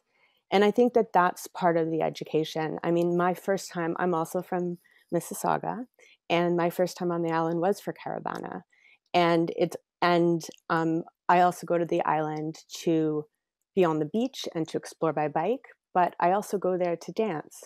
And I feel like there's a lot of um, opinions about using music as a form of therapy and a form of gathering and a form of celebration um, and a way to kind of find space um, and feel a sense of belonging, especially for the queer community. Um, and I just want to make sure that that is really understood by the city planners, that they, um, these spaces need to be safe. Um, they need to be regulated so that it is safe. Um, and if we don't have these safe spaces, people are going to find them and it's not going to be safe. And a lot of these spaces aren't affordable for everyone. So um, just making sure that we honor the different ways in which people use public spaces and that music and dance and performance still have a home there.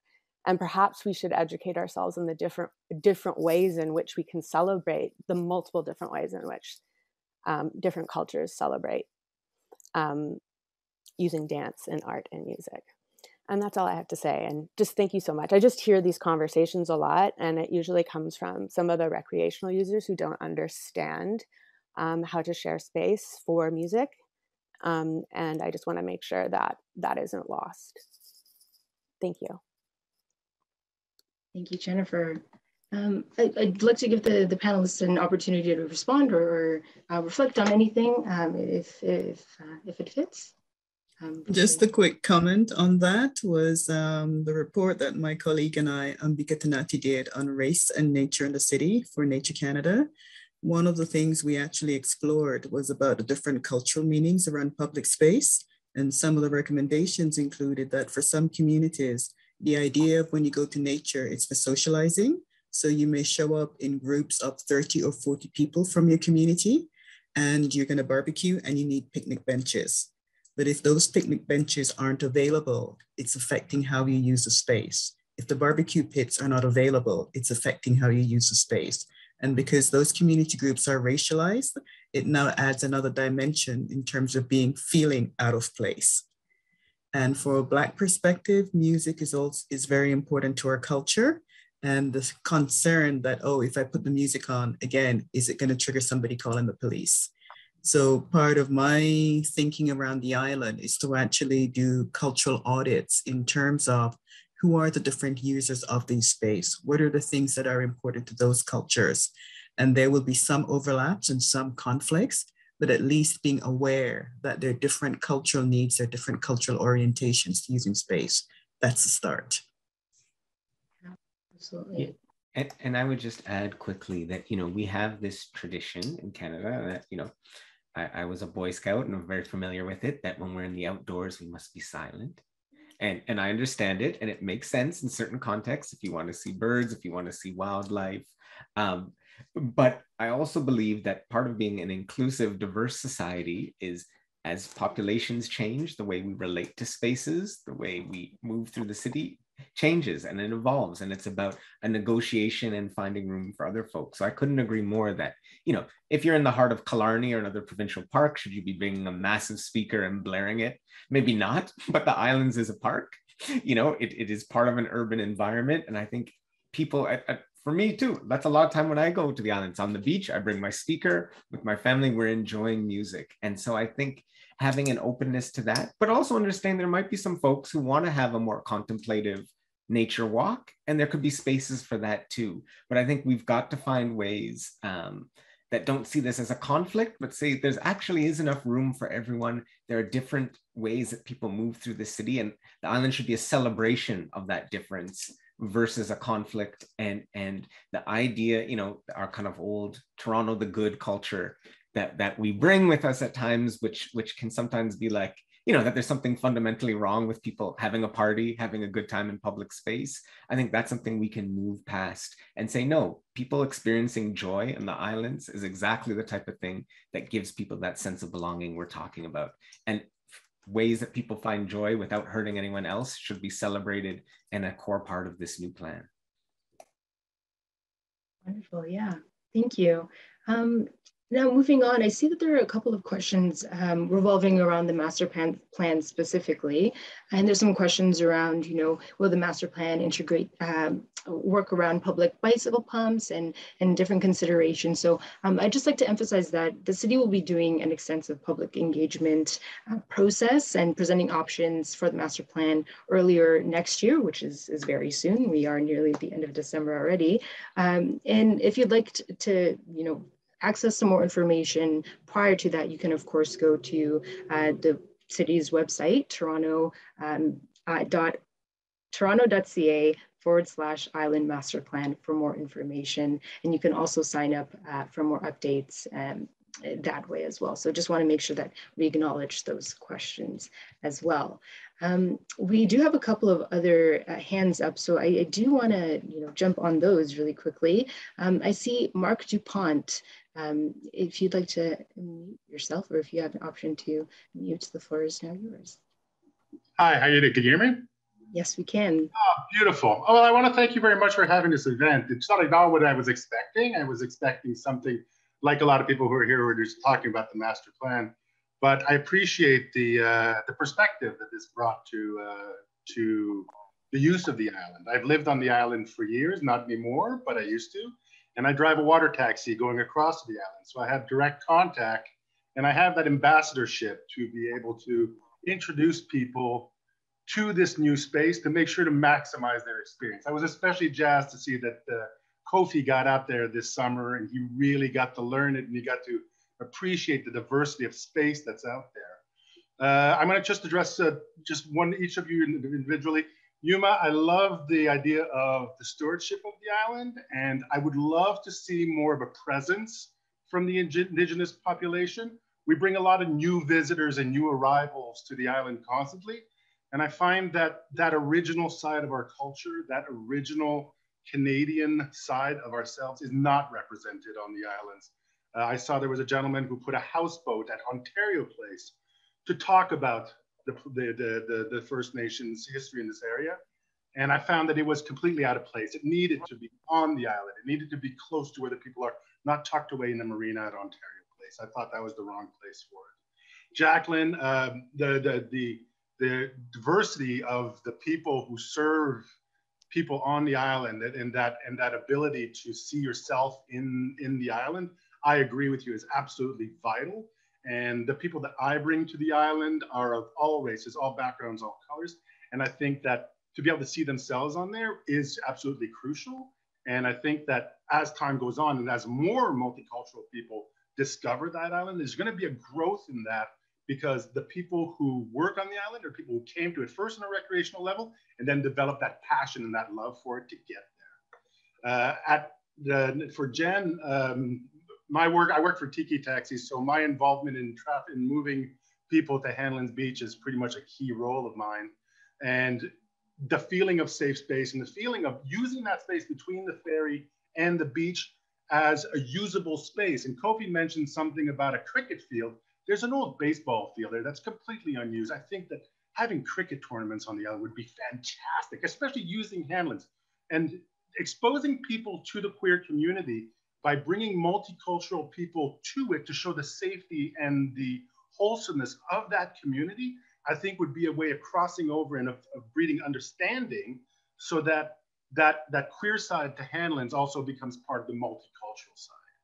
The final thing I want to say is that all of these things to me tie together in a way that, you know, you talked about being able to rent bikes closer to the dock, being able to buy things like sunblock and things like that closer to the dock, that accessibility.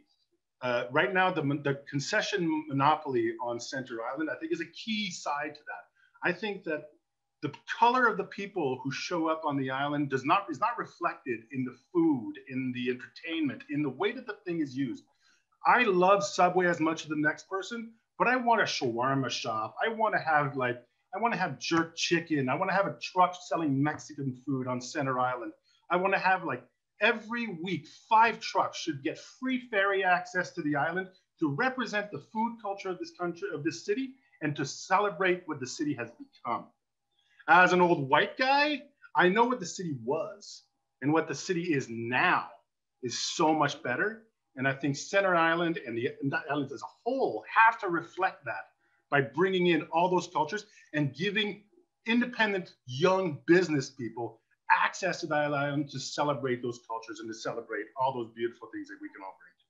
So thank you again very much for all your perspectives. That was really good. Thank you so much, Mark. That was wonderful. I can feel your passion. You know, just just you know your experience uh, speaks volumes. So thank you for sharing. Um, with that said, we have uh, another question uh, in the Q&A that I'd like to get to, and, and this is for um, all of the panelists.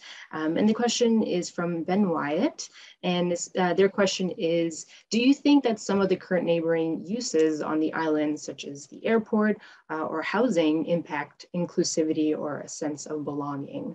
Um, so uh, maybe we can start off uh, with Kofi. Yeah, I mean that is that, that's a great question. Um, so the airport is an interesting one. I know very controversial and about expansions of the airport and and its use and access. Um, in a way, you know, I think this has to do with like our whole waterfront, right? About to what extent should it also be a place of business and jobs, and what place should it be recreation? So, like when we have the Redpath sugar factory there on the harbor front and it's unloading things from ships right beside you know sugar beach where people are hanging out. Personally i'm okay with that mix. I, I think it's it's kind of interesting it's kind of quirky it's kind of toronto but ha- having the island airport there to me is has never disturbed my experience. There might be others who've experienced it, it differently. I think adding jets would probably tip the scale where it would be highly disruptive to folks. Um, as far as where where people live. I mean, that's just an interesting one to me in general. I, am definitely not for displacing people who are there, but it is a weird system, right? Where you have to, to enter a lottery and it might not be decades till you get a chance to live on the island. I, would be very interested to see kind of an audit of the demographics of the folks who, who do live there. I'm not sure if it would be fully representative of the city, but I think we can honor, hey, baby, we can honor those pieces that are currently present while we expand, but I certainly wouldn't support either expansion of the airport or expansion of housing on the island. I think we can respect what's there, but I don't think more of it uh, is what we need and, and, what we've been asked, at least myself, have been asking for on this panel. Mm. Thank you. Maybe we can uh, go to Yuma if you have any uh, reflections or thoughts on this. Um, sure, absolutely. Thank you very much. Um, I want to jump back to Mark um, and just say thanks very much for the subscription. And I hope you continue on with the farming simulation videos. Um, but anyway, um, yeah, basically, I think I want to echo um, some more of Darren's thoughts, basically, in, in, in the interview that he gave uh, and just really lead with uh, always having an environmental impact uh, as like the front and center thing that needs to be thought about, um, whether it's like you know industry or expansion. I I think his sentiments were very clear in that we can't leave it up to the politicians because you know I think they often bend to um, economy. They often bend to you know um, these decisions where they feel like they're doing the better for every everybody but in in fact you know the the land the resources the environment end up taking you know the brunt of of, of most of that. Um and it, and it's and it's kind of it's tough to see i guess. So um yeah i think that the environment has to be a priority in any decision making and i think indigenous people have to be front and center when that happens Thank you. Um, Jen or, or Jacqueline, did you have any any thoughts that you'd like to share as well?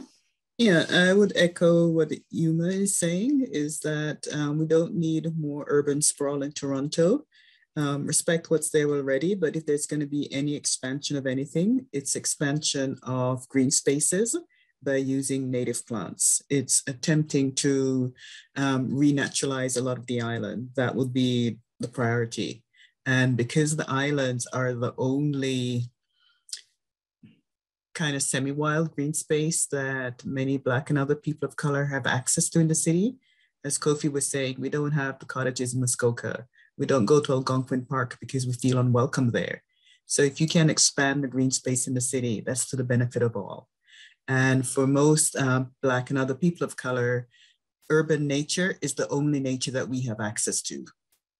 So the only nature, and if we're disconnected from urban nature, then we really are not gonna care if the polar bear is drowned or if Algonquin Park um, is logged right out because it's too far removed from our experiences. But if we have access to more nature spaces and we have a better idea of what natural nature looks like, which sounds like an oxymoron, but if we have a better idea, oh, this is what nature looks like in the city and it's accessible to me, then more likely from that we will start saying, oh, I need to protect this nature. And from there, you launch into the bigger need to make sure that the earth survives. Thank you. And of course, Jen, if you, if you would like to add anything as well, I want to make sure we cover everyone. Yeah, definitely. Thank you. I feel like, um, you know, reflecting on what everyone said, I, I don't have a ton more to add besides I don't think that the airport is, is doing much for, for green space or natural space, just to the points already raised. And, um, you know, there is so little space that we have um, writ large, a little space for, for queer gathering, for communities of color, for, for indigenous people. It just feels like it's um, a waste of, of space that could be used otherwise. Great. Thank you for sharing. Um, we do have a couple more hands, but we I recognize that we only have about four minutes left. So maybe this can uh, be our, our last question and I'll pass it off to uh, Ocean Low. Your, your hand up has been up for, for quite some time. So I wanna make sure that we uh, address your question. So um, if, if Ocean can be unmuted, please, uh, and, and offer your question. Hi, everyone. Can everyone hear me? Yes, we can. Thank you. Yeah, hi, hi. So first, uh, I'm so happy to see my planning school friend. Hi, how are you? So, uh, so I, I also I'm graduate from UBC Planning School. I'm a planner right now in Boston, work with the Boston Planning Development uh, Agency as a senior planner. So my question is about, ask the project team, have has the project team think about for, for this master plan, uh, ev evaluation and monitoring process, does the team think about integrate indigenous knowledge in the monitoring process, not just use Western science data? Think about indigenous knowledge, social, cultural perspective, storytelling, observation, oral entry, uh, oral tradition. So this is an example to see how the project team to consider indigenous knowledge in the decision-making process because also this also related to funding resources to support the READ program. I do want to see that if the project team haven't think about this way, please consider this. Thanks. Yeah, absolutely. That's very important, and I'm uh, glad that you brought it up. Um, and and uh, thankfully, of course, the uh, part of the project team or members of the project team are, are uh, are listening in tonight as well. So I'm sure they're vigorously taking notes as well. But as I did mention earlier, you know, the public engagement process will also pick back up uh, in, in, the new year. So uh, make sure you you you're active and, and you uh, keep track of, of what's what's to come. I'm sure more information will, will be there to come. Uh, so with that said, I know we have two minutes left, so I do want to squeeze in just one, one, one last question and get to our last hand. Uh, Lin, uh, Lin, Linka, hopefully, I apologize if I mispronounced your name, but uh, hopefully we can uh, unmute Linka for the very last question of the evening.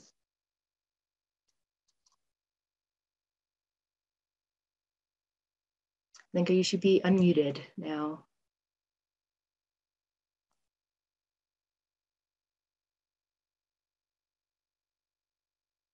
Can you hear me? Yes, we can. can. Welcome. Yes. Hello, hello. Um, well, it was so interesting, so invigorating listening to all of you. Um, um, my basically point of view, obviously, it's also about environment.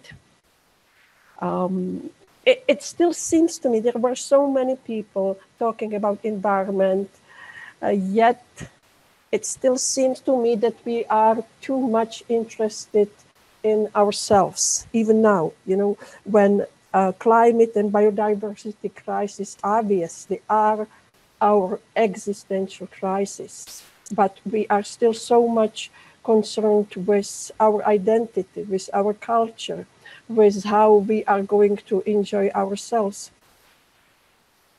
How about birds who are in free fall. Uh, Toronto and Toronto Island is one of those three places in Toronto, apart from Tommy Thompson and High Park, lot, designated for uh, accommodating most for birds migration. And, you know, all those our activities when we are enjoying ourselves kind of are in conflict with the way they need to provide themselves. So I was just wondering if we could all could not become more ecocentric as opposed anthropocentric. If this could not be our new culture that we would all share. That my that this is my question. That's it. yeah, thank you for your question. It's it's an excellent one and it's an important one. Certainly, um, thinking about you know uh, understanding that we all come also from different walks of life and we all engage with nature differently. And what does it mean to center that back into um, thinking about what these spaces might look like in the future? So um, maybe I can uh, refer to uh, Jacqueline if you have any thoughts or, or, commentary on that. And, and of course, we can make our final round for all of the speakers uh, and we'll, uh, we'll conclude for tonight. Yes, I'm also an avid bird watcher, and I absolutely agree that we need to make space for nature in the city because too often we see the city and nature as two separate things. And if we don't connect to nature in the city, then we're not going to connect to nature at all. So any kind of expansions on the island has to be grounded in protecting the nature spaces in one shape or form and the leaders in that obviously have to be the indigenous because again, it's about respecting that ancient indigenous knowledge. Thank you. Um, maybe we can pass it over to Yuma. If you have any additional thoughts to share? Um, yeah, I think uh, the to keep the conversation going, um, I think to go back to also the point that o Ocean was was mentioning, um, just about the approach, the the two-eyed seeing approach, um, and basically, you know, that's marrying indigenous science um, with Western science. Um, you know, I think a more general sort of way of saying it is uh, with the mindset of preservation. You know, some would see it as conservation, but it's you know, it's it's it's observations that have been you know uh, collected over millennia, basically on on the land um, needing to be incorporated into uh, like a path forward for uh, science, basically. Um, yeah, I think that that was that was my only point. Thank you. Uh, and maybe we can pass it off to Kofi. Yeah, thank. I want to thank Lenka for that comment there, and I think it is. You know, there's really a yes and to this. The yes the importance of protecting our natural environments. And and i agree i think moving towards a culture which is more oriented towards an appreciation and protection of nature is key. But you know i think the yes and is i think at the same time to build that new generation of conservationists of folks who are passionate about nature i go to what jacqueline had said earlier. For many folks you know it's it's very hard to have empathy for a concept we know that that when it's just something you read about in the book or see on television and and what unfortunately animals trees water doesn't vote in our system. Human beings do. And the work that needs to happen around expanding conservation around things to reduce greenhouse gas emissions around the activities that will help undo some of the horrible damage we've done to the earth requires people who feel a passionate connection for these causes. And one of the ways we do that is through exposure to nature and people seeing their, as I said, their own story and their own culture connected to nature. So I think we have to do both. We have to conserve, but we also, for many folks who live in the city, who spend their time in towers, in cars, in heated indoor areas, we need to get them out more. We need to get them to experience and make great memories in nature because that's how you build the next generation of conservationists. So I think we have to, it's a walk and chew gum at the same time. We've got to protect these spaces, but we also have to get more people out into them. And I know it's a balance and attention, but I think that is essential if we're going to move forward because otherwise people are not going to be willing to sacrifice just for something they read about in a book. That's just part of our limitation as human beings. You really have to see that personal connection to feel motivated to take an action to protect something. And I think Toronto Island can be critical in, in making that connection for many folks. Absolutely. Thank you, Kofi. And finally, Jen, you have the last word for the evening. It's a good timing because my headphones just just died. So thank you for bearing with me switching over here. Um, but definitely just want to um, think of kind of Cherry Beach is somewhere where I like to bird a lot when I was back in, in Toronto and area with a lot of cardinals and, and, chickadees. And it seems like from what I remember of Cherry Beach, at least this um, and and or an and plus um, worked really well where you had people who were like myself there for for nature for birding. At times there was also dancing and and events for people to um, also enjoy the beach in different ways. I, I just I, I hope optimistically that we can continue to balance both by also putting environment first recognizing that we do only have one one earth. Um, and also just to acknowledge my my friend and colleague Ocean um, there was a um, a indigenous placekeeping forum that took place previously, and uh, one of the elders, I believe, uh, Diane Longboat, spoke to um, wanting an ethical char- charter in place that would put into law the preservation of Toronto Island as an indigenous site. Uh, it just feels like uh, I, I, hope beyond these great conversations, and, and thank you to the city and the panel for this discussion, just wanting to make sure that we're enshrining things in law and, and putting um, things codified, allocating budget, making things happen beyond um, the master plan would be uh, something that I would emphasize. Great, thank you so much. And I think that's a great way to conclude tonight's forum. Um, there was certainly a lot to think about and thank you all for sharing again. Uh, and thank you all for, for submitting your questions and engaging in this conversation uh, very holistically. Uh, I, I, again, thank you for having me and, and uh, it was a pleasure to absolutely yeah, moderate and meet everybody as well. So with that, I'd like to pass it back over to Lori.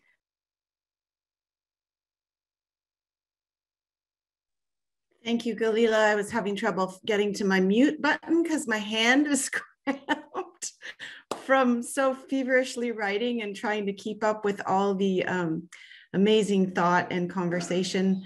Um, so thank you to Yuma, Jen, Jacqueline, Kofi for um, all uh, and Galila for, for your presentations and for moderating tonight.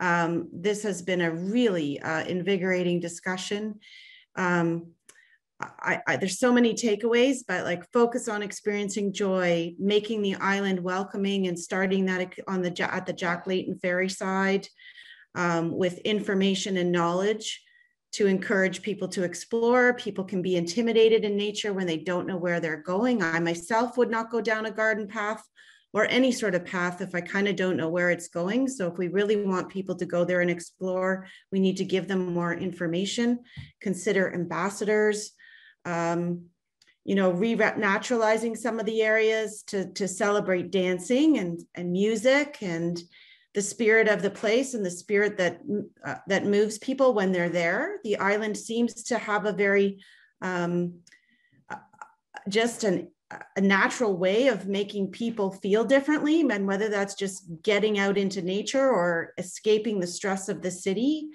it moves people in different ways literally and figuratively. And um, i think it's important that we try to figure out how the master plan can help enhance that and embrace that uh, especially towards uh, mutual respect and celebrating our differences and and and uh, sharing the, our strengths with one another um, opportunities for experiential learning in nature. That's that again goes to that combined experience. We bond and we feel like we belong when we have that co- that combined experience in a place.